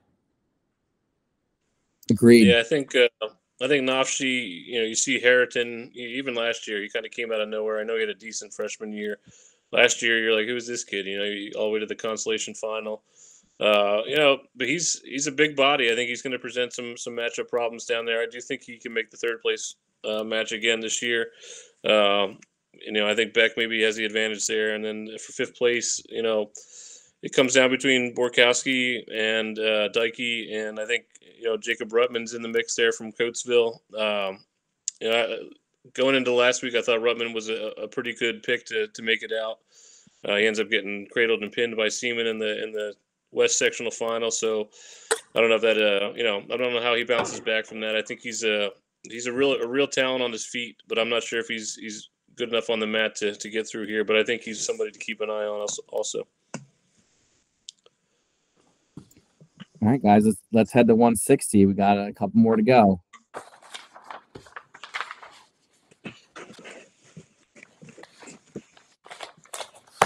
So we have Gavin Cole, again, uh, this is a weight class where I think Gavin Cole has distanced himself and be the class of this uh, this particular weight class.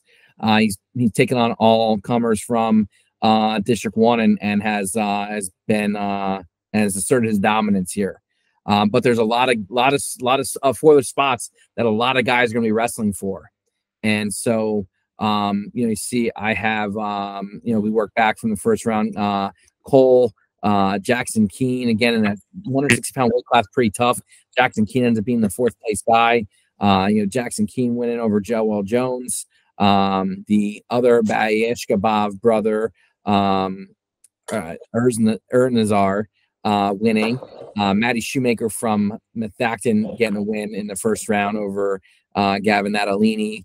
Uh, it's nice to see Springfield Delco have a few regional qualifiers this year. Uh, they have several, and um, you know we got uh, Arthur Gordon. I got JD Heiser upsetting him. When JD Heiser's on, he's, he's pretty tough.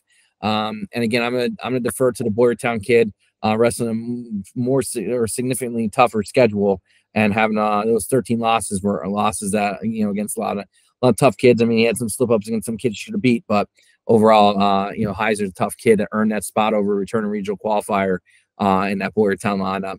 Uh, then we have John Smith, the phenom, freshman phenom from Oxford, uh, winning there. Uh, Michael Pepe beating Paxton Hunt and uh, Ryan Gallagher knocking off Will Cadden. My semifinals are Smith versus Gallagher and Cole and Bayishkabov. And then I got Cole and I got I got um, John Smith in the uh, in the final against them as a freshman. That probably makes Nate happy. Yeah, go ahead, hometown Nate. hometown hero there. Uh, certainly could happen. The bottom half of the bracket, just uh, for a fencer like myself, it's kind of torture. Um, I really like Ryan Gallagher as a wrestler. You know, you, you think back last year, that first night, you know, he goes out there and he shuts out Barlow. You know, probably one of the bigger upsets of the of the first night and then he comes back and you know, he just misses states uh, taking six. You know, um, I think Gallagher could be in the finals, and I think Gallagher has a shot to get upset by Pepe potentially. I, I think Gallagher is the favorite there, but you know Pepe is a senior, been been a lot of tough matches, and then you know if we do get Gallagher or Smith, it's just a matter of uh, inexperience against experience. I think uh, you know Smith maybe a little bit more talented, you know, at least at least at that age, but I think Gallagher maybe a little bit more seasoned and and maybe that puts puts him over the edge. But that's that's uh this is one of the tougher semifinal matches for me to to pick, just because I've seen Smith a few times. He's definitely not. It doesn't appear afraid at the moment. Uh, he's really good, you know, on his feet, getting a couple takedowns. And if you can get a takedown or two at this level, uh, it just makes things so much easier for you. So uh, that's a tough one right there. I do think Cole you can pencil him in the finals and down low. I, I that's one of the more intriguing semifinals, just from a, a you know a style standpoint. Yeah, I, I agree. I have I have Cole and um, Ernazar there, and I have Smith and Gallagher. And again, that this is the the one that kind of decides the the bracket down below. Um, I have Gallagher edging Smith. Uh, again, contrast of styles. Gallagher's hungry, uh, missing out last year. So again, you look at those stories. I, I think that if he gets a chance to punch his ticket here, he's going to get it done. So that that's a, a difference there for me. Um, you guys have not seen Gordon probably at all. Uh, Gordon is a horse. Um, he's impressive. He's powerful. He's he's very agile and and very technically sound.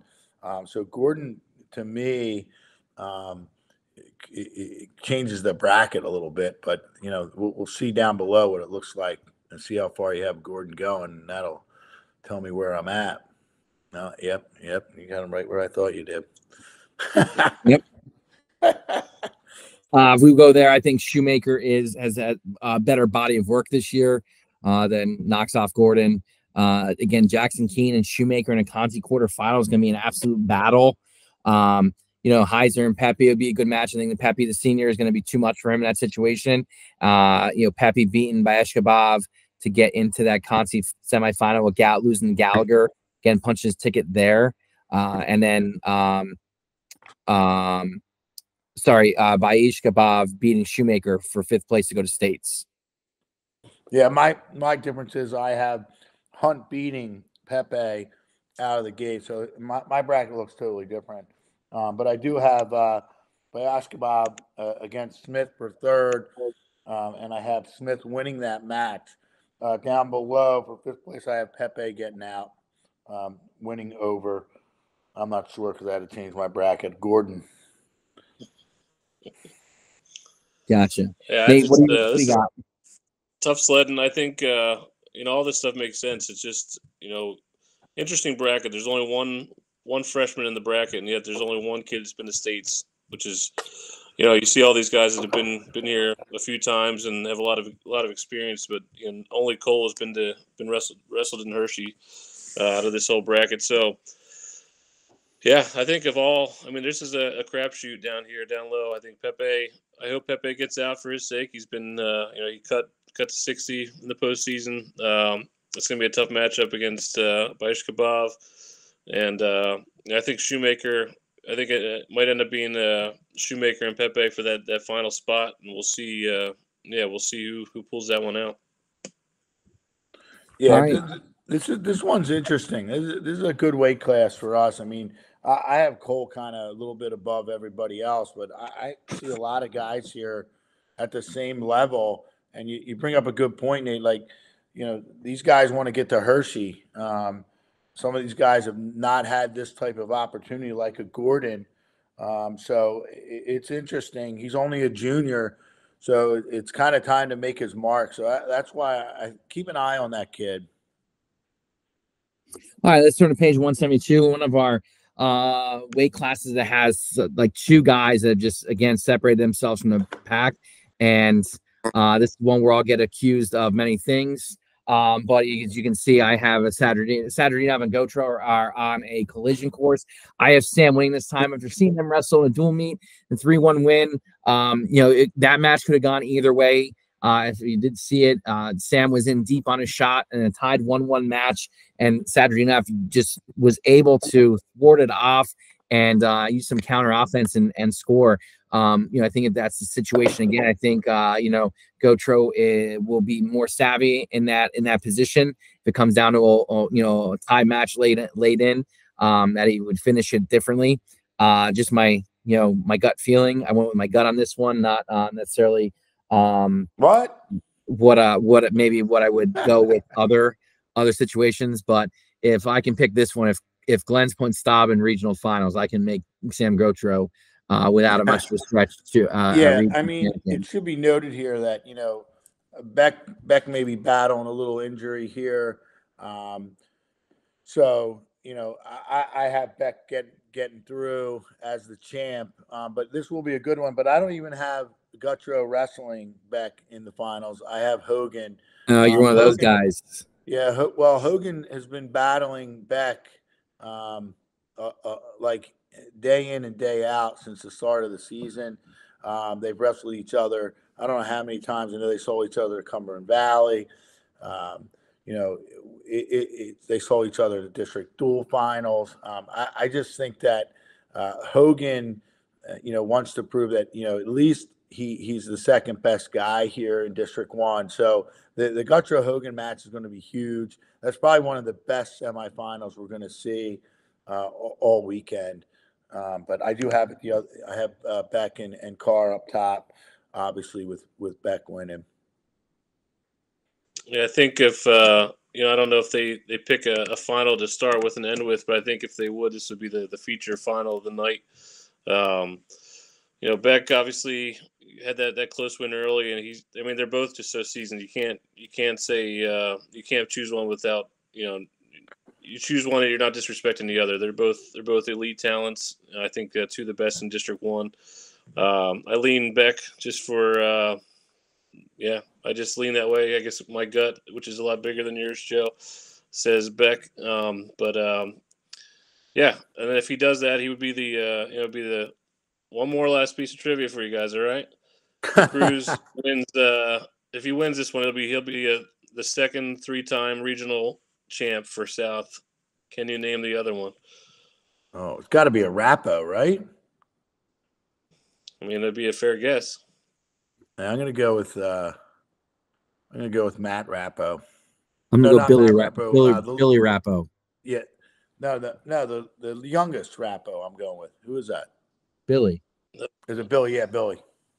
You were right, right, the first time. It was Matt. It was Matt. Oh, yeah. My first guess. the only one that didn't win a state title, but he won three regional championships. Yeah, I know. It's like crazy. So he's got that. But yeah. But yeah, I think uh, I mean this is the highlight.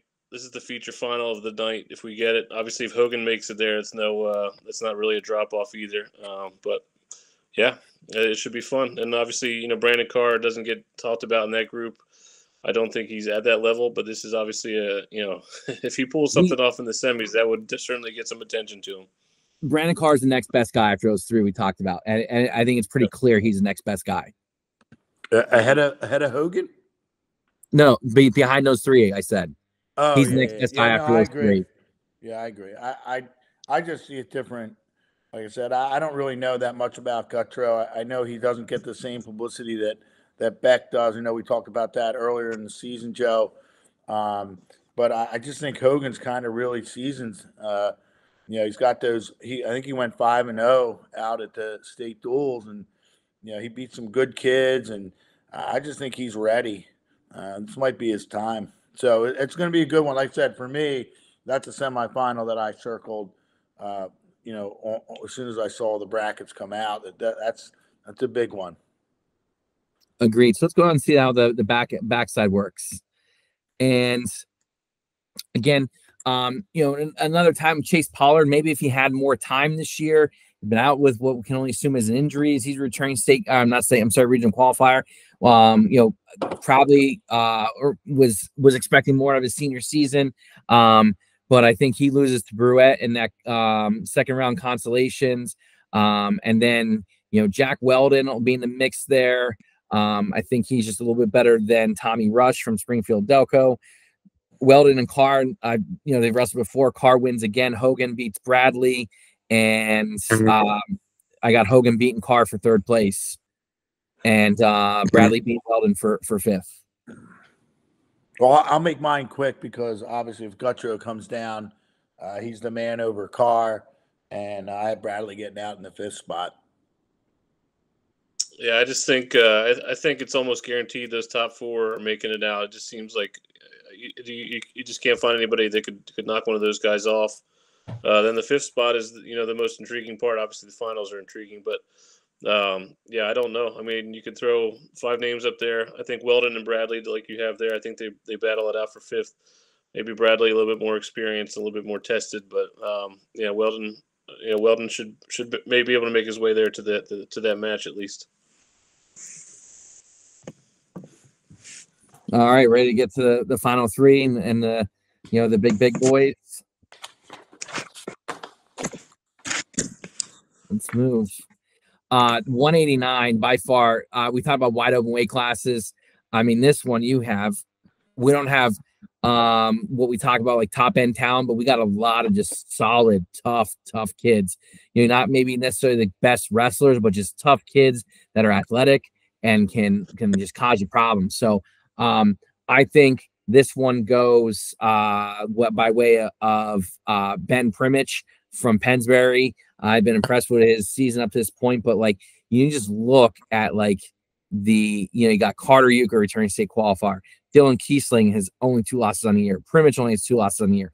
Mason Richards was here a year ago. Freshman, um, you know, we haven't even talked about. We're going to talk about Franco Latore, freshman from Interboro, who has got uh, some very impressive wins on his schedule. Cole Lester just seems like he's been around forever. And uh, you know, Spielman down at the bottom, the, the two seed. I mean, it's just uh it it it's just so many guys. I think Spielman come into it like uh midseason was his weight class. I think Primich just kind of uh maybe edged him a little bit in my book. That's why I'm going with him over Spielman in the final. Uh, but I have Primich, Euchre, Richards, and Spielman in the semis. Yeah. How do you guys see it? I, I gotta I gotta agree with you. My bracket's the same way, Joe. Um, th- this is some going to be some hard nosed wrestling here. These guys are all tough, big, solid wrestlers. Um, you're going to see a lot of banging out there uh, at 189. I have Primich uh, beating Spielman.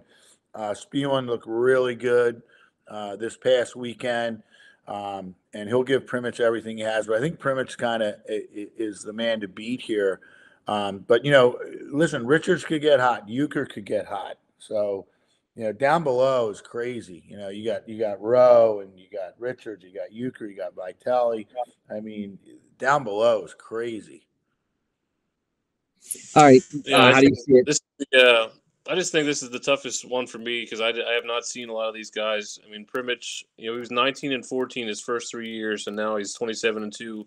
Just, uh, you know, I don't know if he's a late bloomer or just, you know. Uh, uh, I don't know exactly what, what his background is. Obviously, he's he's had a great year. Um, I just I, I have Euchre beating him just because of the uh, the experience factor being in that spot and, and making it last year. Um, but that, like I said, that's uh, that's some naivety on my part because I have not seen him and I don't exactly know his backstory. I think that that should be a good one. And then uh, yeah, I think you know obviously Richards down low against Spielman. Um, that should be another good one. I mean, those spring guys, they just I don't know. It's hard to bet against them. I think uh, Richards maybe finds a way to to eke that one out, and we get an all PAC all PAC final for my O and J brethren. Yeah, and you know you you like I said, we're in we're gonna get in this bottom uh, the backside of this bracket, and it, it's gonna be again just a lot of just battles. Um, we look here, and you know, you look at uh, Ryan Rowe. Um, I was impressed with him all the way back, seeing him in eighth grade. Kind of hasn't, um, you know, had the, the maybe the success that that he that, that he was trending towards, but um, from what I've seen as of late, he's starting to like blossom a little bit and and maybe reach that potential. So you see, I'm in that first round consolation wrestle back, you know, beat Paladino, beat Dyson Neal, beat Dylan Kiesling, and then lose to uh, Mason Richards, uh, and then just come up short to Franco Latore uh, from Interboro. Uh, Interboro getting a, a, state qualifier out of it. Um, you know, a few regional qualifiers, but this kid for a freshman is is going to be dynamite. Yeah, I Go think ahead, uh, just have your our third and our consolation final, regular final, or switch, switched. But yeah, I think uh, yeah, I think Latore is uh, you know it's it's so hard to judge how these freshmen are going to respond in, in a tournament like this. So many times you see the freshmen hit that wall, they take that first loss on Friday night or Saturday morning.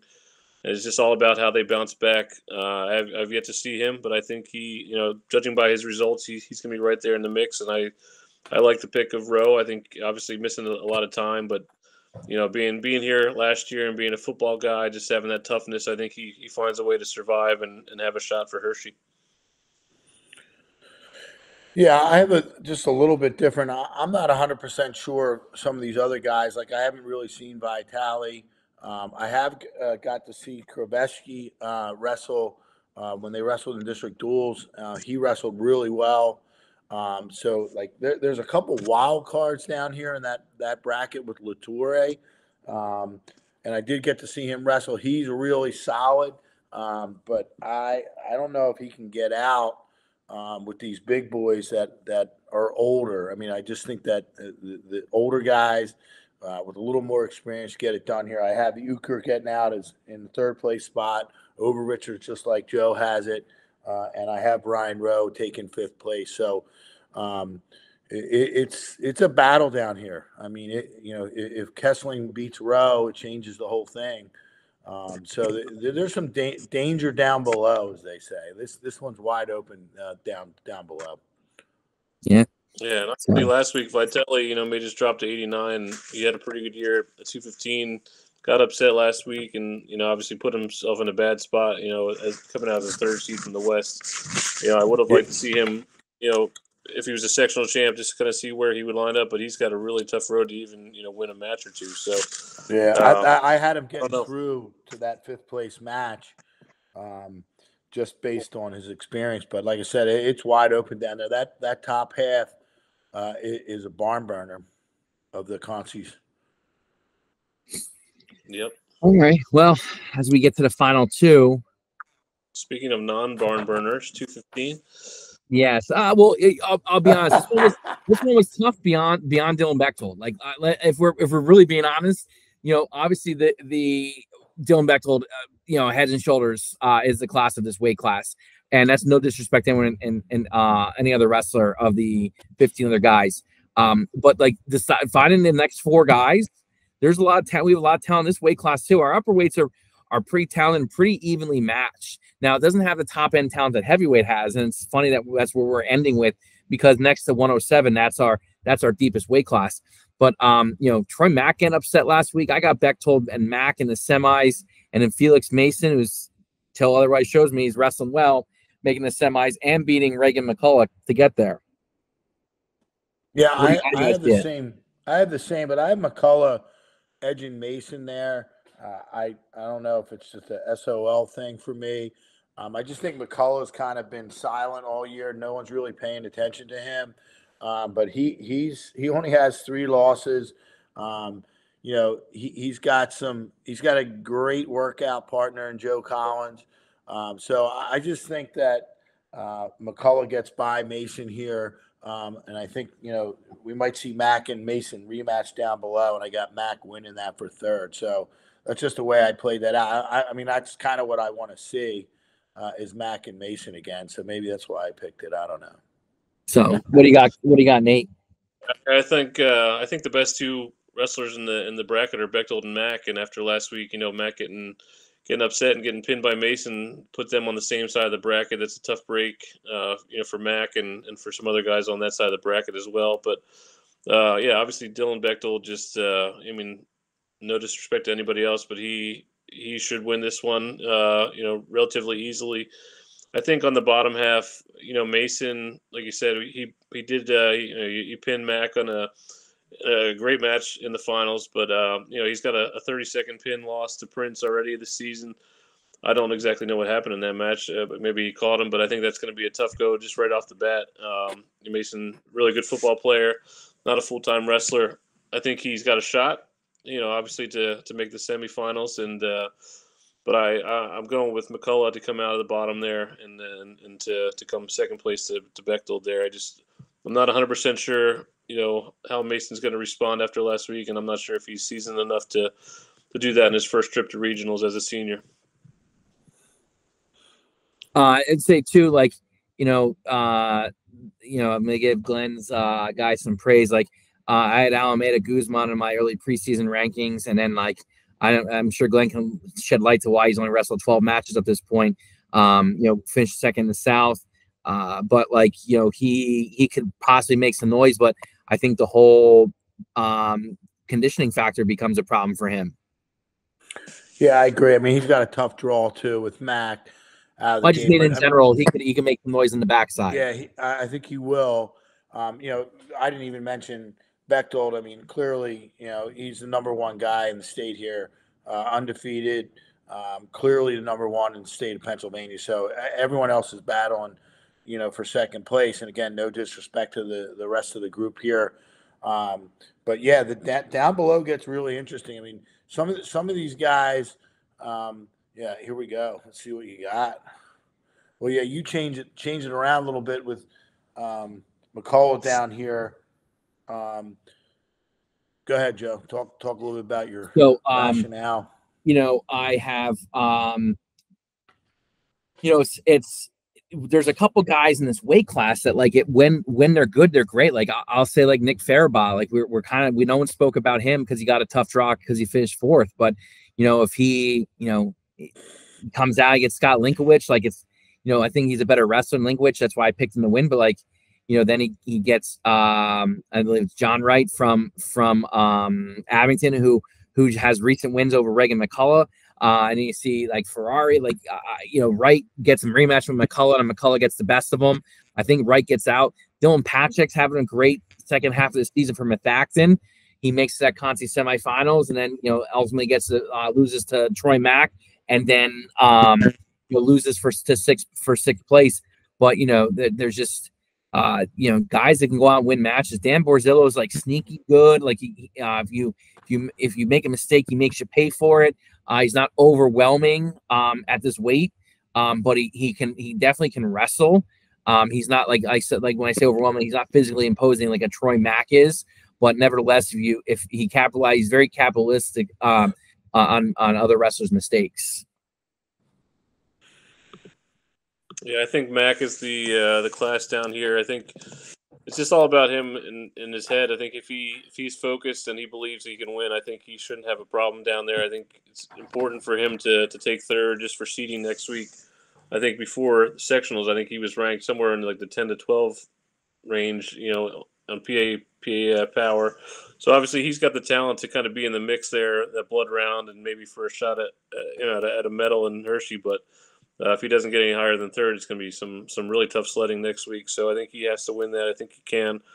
I think Wright, you know, gets out, and I think Prince has a, a shot to get out as well. Yeah, I, I think I Prince's a, schedule uh, comes up to hurt him, and the fact he lost, a, he had a bad loss last week, um, ultimately, you know, seals his fate in this weight class. Yeah, yeah I, mean, I mean, yeah, I, I I agree with that, Joe, with the scheduling piece. I mean, uh, but at the same time, like this is where I have Mack and Mason in the rematch with Mack taking third, so we agree there. And then I do have John Wright from Abington taking fifth. He, he's a big man, he's a big boy, and when he wants to turn it on, he can. Um, but he he hasn't wrestled the high level competition either, so it'll be interesting to see how he performs um, in, in, at regionals. But I think he's the he's the fifth best guy. Um, you know, Guzman um, has wins over Prince. Um, I believe. Um, so you know, Guzman is going to win some matches down here, and Linkowicz is also dangerous. So like, I have a little bit different bracket, um, but I, I, think we have the, the the five top guys correct uh, on, on, my sheet. But uh, again, this is one where you're going to want to watch some of these wrestlebacks. You know. Well, is it time? It's time to go to the big boys. I can't wait. All right. Uh, our again deepest deepest weight class in in District One. Um, not only do we have um, we not only have top wrestlers in the region, we got top wrestlers in the state. Um, paced by Calvin Lockman, the one seed, and um, you know, I, again, I'm I'm open to all criticism uh, of my bracket. As always, I put it out there. Um, I got Lockman Bechtold in the finals. Um, I've said it all along. I think Bechtold is, um, you know, uh, will um, is the, one of the top two wrestlers in the in the region, one of the top four wrestlers in the state this weight class, and uh, he, he's gonna put it on display this weekend. Um, you know, uh, he's um, gonna I, match up with Pardo there in the semifinals, and I think you're gonna see Bechtold win. Uh, you know, same as he did back in the fall at the Columbus State Duels. Um, but then like you you look past those top three, and then you still have like Joe Collins, who who very well is going to find himself on the podium. And then you also have like the likes of of Cole Euchre, Dylan Bledsoe, both state uh, state qualifiers um, in the past. And it, eh, you know, you got we got guys and guys and more guys that can not only get the states here, but but find their way to the podium. Go ahead, Nate yeah, I mean like six six uh six returning state qualifiers, you know, a couple uh, state medalists, obviously Pardo taking third last year and Bechtold he was sixth, right? He was sixth. Yeah, so I mean just, you know, a ton of talent. Um yeah, this is uh, the ultimate hedge my bet right here, but I I think uh, you know I'm going to go with Pardo because you know, he's a Kennett guy. I gotta go with I gotta go with him just because you're going with Owen J. But Nate, you have gone against Kennett all year. yeah, yeah. and, now, and now you're. Oh now oh my you're god! I can't believe them. you're letting that information out right now. No, no, I mean, I, I tried to tell everybody they weren't a good dual meet team, and obviously that that came to fruition. But they have a, a lot of good individuals, and I say this with hesitation though. I, I'm picking Pardo, you know, just to kind of go against you, Joe. But I will say this in terms of hedging my bet. Pardo has struggled with the bigger, longer, stronger wrestlers. So I think if this if this match goes the way Pardo needs it to, if he can keep it on his feet and get a couple takedowns and kind of control the match that way, I think that's the only way Pardo wins. If this goes to the mat and Bechtold gets on top one or two times, uh, you know Pardo has 18 losses in his career and 11 are by fall, so he he struggles when he's underneath, especially against bigger guys. So maybe that's uh a poor choice on my part taking Pardo because obviously you know the chances of him not not going under Bechtold are pretty slim, um, at least at some point. And obviously he's lost the last two or three to, to Lockman, but I think if he beats Bechtold in the semis, he's going to go in with some juice and and take one home and uh, yeah, and, and, finally get it done against Lockman. But uh, I mean, it could go completely opposite. So you know, I I think yours your bracket is not crazy. I think any of these three guys, I mean, they're three of the best of the state. They're three. They're all three of them are top five in the state. So you can't really be surprised whoever whoever does come out on top. I think if one of those three doesn't win, that would be the the shocker. yeah, I agree with that. So yeah, I have the the four semifinals the same way, and um, I do think Calvin Lockman is the the best of this group. Um, but I'm not ever betting against a Bechtold brother again, at least against Lockman.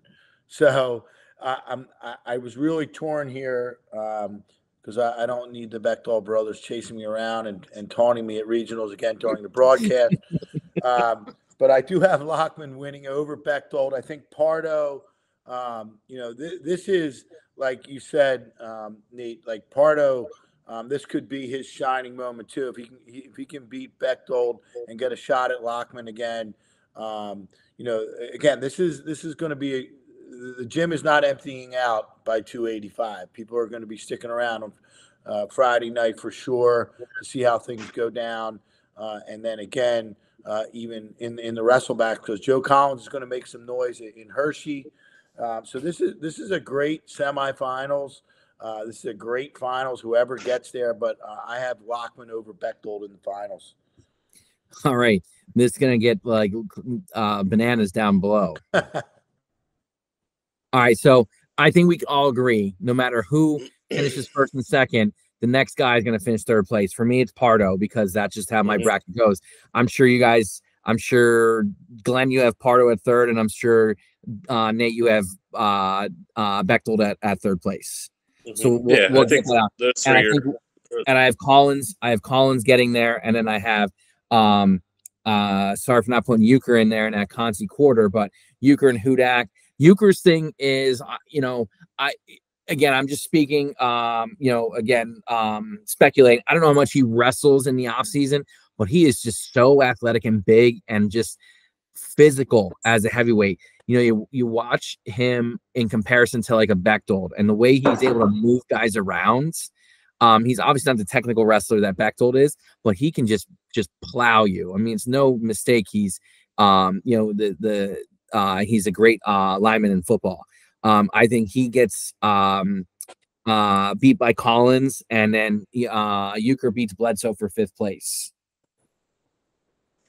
Well, since uh, Nate has Pardo up, upstairs, it's a different uh, conversation. So I have Pardo winning, uh, you know, over Collins like you do, Joe. I, I think Collins is going to be on the podium in Hershey, and he's probably going to be, uh, you know, right there, probably probably in the fifth spot is my guess. If I if I, I haven't, you know, the the bracket, we don't know what the bracket looks like uh, in Hershey, but I definitely have.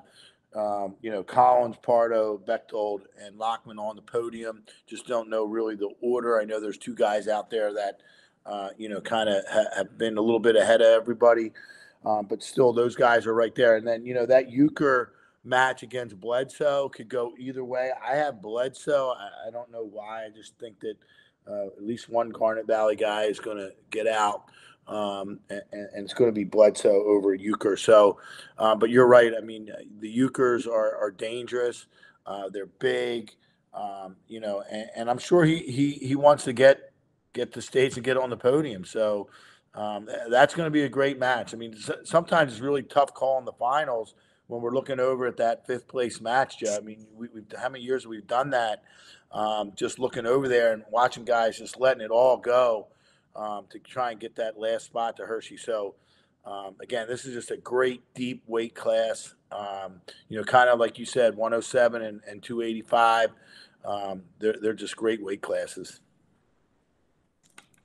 Yeah, I have the same five as you do, you know, just different order, but I think those are the top five getting out. Uh, you know, Euchre obviously being the wild card, just, you know, seeing how he kind of – bounces back after not being in the postseason last year. I think um, I'd like to see Abaraya and Bledsoe go one more time. I think they've wrestled four times in their careers. I think it's been overtime at least at least one overtime in every one of them. There, those guys just seem to always match up. I think they uh, they met last year at the first round of regionals too. So uh, I think it'd be fitting for one of those guys to you know to have to go through the other to to have a shot at states. Uh, two really good football players, a lot of good football players in this bracket right here, especially on the the bottom half. It's kind of a crime that Bechtold and Lockman don't play football with that with that body type. But uh, yeah, I mean, there's going to be some serious earth moving with these guys, and uh, I, I, can't wait to watch it. Yeah, so I mean, we may as well talk a little bit about the team race too. Why we have a moment. Um, you know, I, I, just feel like Quakertown's going to insert themselves in the conversation uh, with Pennridge and Council Rock South. I don't know if anyone else can can you know get in the conversation, but um, what are your guys' thoughts about you know those three teams? I think it'd be a shocker if those weren't the top three in some order, right? Yeah. yeah. Uh, you know what it comes down to. You know, there's a lot of those matches like you know Ike Williams winning winning some matches for them. Uh, you know they're going to need to lean on him. It's it's going to be not being won by the stars of those teams. It's going to be won by those guys on the backside of those brackets. You know, can a can a AJ Bott win some matches for Rock South? Can Scott Linkowicz win some matches for Rock South? You know, it's not going to be like Beck's going to uh, Becker is going to do his job. Ryder's going to do his job. Lenahan's going to do his job. Uh, you know, all those guys. Uh, can Eddie Alvarez win some matches? So, you know, that's where it comes down to is is what and, and then you look at Pennridge, like, you know, I Yeah, believe can Roe, and McFadden. Roe you know- McFadden, Danny Metzler can, you know, every point's going to count. And then you, you know, you said like, uh, you know, you look at uh Quakertown, like, yeah, your your your hammers have to do what they have to do. Like, you know, if if Quakertown is four regional finalists, um, you have to imagine they're in the driver's seat heading into Saturday night. So I mean that's a possibility at 121, 145, 160, and, and heavyweight. So you know that you look at from those from that perspective, and they're gonna be there. Uh, you know, you, you again, I, I'm not saying they're they're eh, they're locks four for four, but um, if I were a betting man, like those would be four guys I would bet would make the regional final, just because um, the three uh, in Ziegler, um, uh, guy and Lockman are are that good, and Carroll just has a better path. Well, I mean, Carroll's gonna get Brillhart in the semis, but again, that that's you know, you look at that match right there, that's gonna be one that could decide a team race as well. Bro Yeah. Hart gets in that final, and you know, the top half that, you know, the ti- whoever wins that that semifinal probably wins that regional title. Yeah, we could see a really tight team race um, that we haven't seen in a long time with three teams. Uh, every now and then you see two teams really neck and neck, but this could be one where we see three teams really close in points, and we'll have to keep an eye on that. Um, I, I think that you know for Council Rock South, um, you know their goal uh, has been all year is to win a state title. I mean, obviously we can obviously we can talk about Mutarelli now. If he's in that lineup, uh, it looks a little different for them uh, to be in contention. But uh, with him out, uh, it kind of brings Pennridge and Quakertown right there in the conversation. So, um, yeah, you're, you're right, Joe. Could be a, a situation where you see Quakertown um, with with you know four finals, possibly four champs, um, but Council Rock South or Pennridge winning. Uh, you know the the regional title because they can do it on the back end. Nate, what do you think? I mean, I, I can't. You know, I I never counted Kennett out all year uh, as a tournament team. Um, you know, I I think they they can put up some points too. Uh, obviously, Sun Valley has won the, you know, the league out there. They won the the, the district section, um, but I, I don't see them really being in this race uh, at regionals. Um, and I see Kennett kind of being in it if, if some of the things happen the way we talked about. So, you know, the, that that's that would be good for them to to be in that top five grouping. Yeah, I think uh, I think if some of your predictions come true, if McBride and uh, Hogan work their way to the finals like you predicted, I think Pennridge is going to be, you know, right there. I don't know if those those guys win that, but you know, like you said, some of those some of those head to heads are going to be really really important. And yeah, I mean, if if Kennett just has the perfect day, if if Boyer finds his way to the finals, if Pardo finds his way to the finals, if Langle can find his way to the finals and you know reverse the Carroll decision, all of a sudden Kennett, I don't know if they have enough depth to uh, to contend for the actual title, but they could you know flirt with the top three four if if everything goes perfectly for them. But that's obviously a, a tough task with only having five six guys here. So yeah, I think it's the three guys from the East. Yeah, three guys from the East for sure, and then and any no particular order after that, you're going to see uh, Kennett, Owen J, and Boyertown. Boyertown because the number of guys they have there that are going to go there and win matches. Um, Owen J because of the, their top level talent, or, and um, you know Kennett for the same exact reason. Kennett could find themselves with like three, you know, uh, anyone Kennett and or Owen J can find themselves with three regional finalists. Yeah, So and, and Sun for Valley that matter, a couple three champs. So Yeah. a little bit of Yeah. trivia for you, Nate. It takes an hour and forty minutes from the Percy area to get to Oxford, and it takes about an hour and ten minutes to get to Hershey. Tell me what's wrong there. Uh, those, I mean, hey, it's a beautiful place to stay. Well, where, where would you rather spend your weekend than Oxford, Pennsylvania? Well, I'm going to Get be in some northeastern Herr's chips Maryland. and, I'm uh, going to be in Maryland. There's some nice cheap gas in Maryland. You got the Chesapeake Bay. You got Herr's chips. I mean, you got a little Royal mushroom Farms. soil smell. Yeah, I'll get, some, Hope. I'll get some mushrooms on my way up to the school in the morning. yeah. I mean, take your time getting there. All those back roads. Watch out for the buggies. Say hi to Bill Rudick. It's gonna be great. he better have a camera in his hand out there, not Right. an official stripes. Hey, he's filling in for me. I got to miss the second half of Saturday, so Bill Rudick will be on duty. So All right, nice. Yep. all right, folks, that's what we got here. Uh, anyone want to take a shot at OW? Ooh. I mean, Wow. do you think uh, the do you think the uh, coaches will wait long enough to vote for 285? Well, I think. I mean, I was going to say it's coming from 107 or 285. I don't know, but I mean, Maybe it's Listen, probably going to be got- 172 winner. Yeah, because nobody's going to wait around Beck. for 285. right? Uh, you know, I think the winner either 172, like uh where what I'm unless like Colin Guy is just just blows through his bracket and just Yeah, I was gonna Um, say Yeah. that. You can't count you know, guys. No upsets. um, you know, Yeah. and, and Dylan Beckles in that same conversation, he's gonna blow through it, it potentially could blow through his bracket.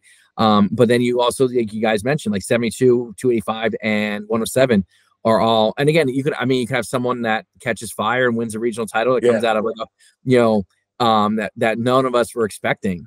you Yeah, know, that so- OW Yeah. has to go to the best wrestler of that tournament. So that 39 that 39 weight class could you know um you could see any one of those guys that winning it because it, depending who you have to go through like you got to go through you know two tough guys or training state qualifiers to get there so Yeah. Yeah. Yeah, so, it's gonna be I- interesting. it- That, it- that'll it's- I be it's think, tough. uh, I'm, I'm gonna go with the winner at 172 i'm gonna say sam and my pick sam gotro is your ow at the regional wrestling tournament in southeast region oh, that's bold. That feels like the most most uh, you know easiest pick, just because I think the re- the, the coaches will see that, and uh, I don't think they're going to wait around to see who wins 285. Normally the uh, the ballots are counted by then, right? So shame for the big really. boys this year. Not not all the coaches are voting. It's just the committee, Yeah, okay. Uh, I don't know how it works. and we'll still be Yeah. there. Trust me. All right. Well, hey, Yeah, there yeah, you we'll go, be there Johnny for sure. Pardo. So, all right uh, nice thinking well, Don played Morrison. That's fine. We got Pardo, Gutro, and and Morrison. We got we got we're well represented here. Kennett, Happel, Yes. Jay. Good job. Hopefully, they're all standing next to each other in, uh, in Hershey on the podium. Oh, too, yeah, wherever they And, are. that, and at, the end, at the end of the day, all this that's all that matters. We get as many guys that hurt the Yeah. right guys that hurt you are going to go put uh you know put themselves on the podium. You know, at the end of the day, while this is uh friendly rivalries and and whatnot of wrestling District One, the end game uh, is always uh, at least where I'm from, and I think you guys feel the same way. Is like let's get District One. Uh, let's continue to move forward. Let's continue to get guys to Hershey and get Yep. guys on the podium. Absolutely. And uh, Absolutely. Mike, good luck with this one. uh yes as- you know apologize for technical difficulties uh looking forward to some feedback on the on the forum as always um and uh you know that's about it guys. Uh glenn nate thanks for hanging out. Thanks for uh spending two hours with me on a wednesday night through the storms to uh to make this happen. Uh looking forward to seeing everyone this weekend down in oxford. Safe travels everyone. Take care and have a great night. Uh, good luck, everyone. down there.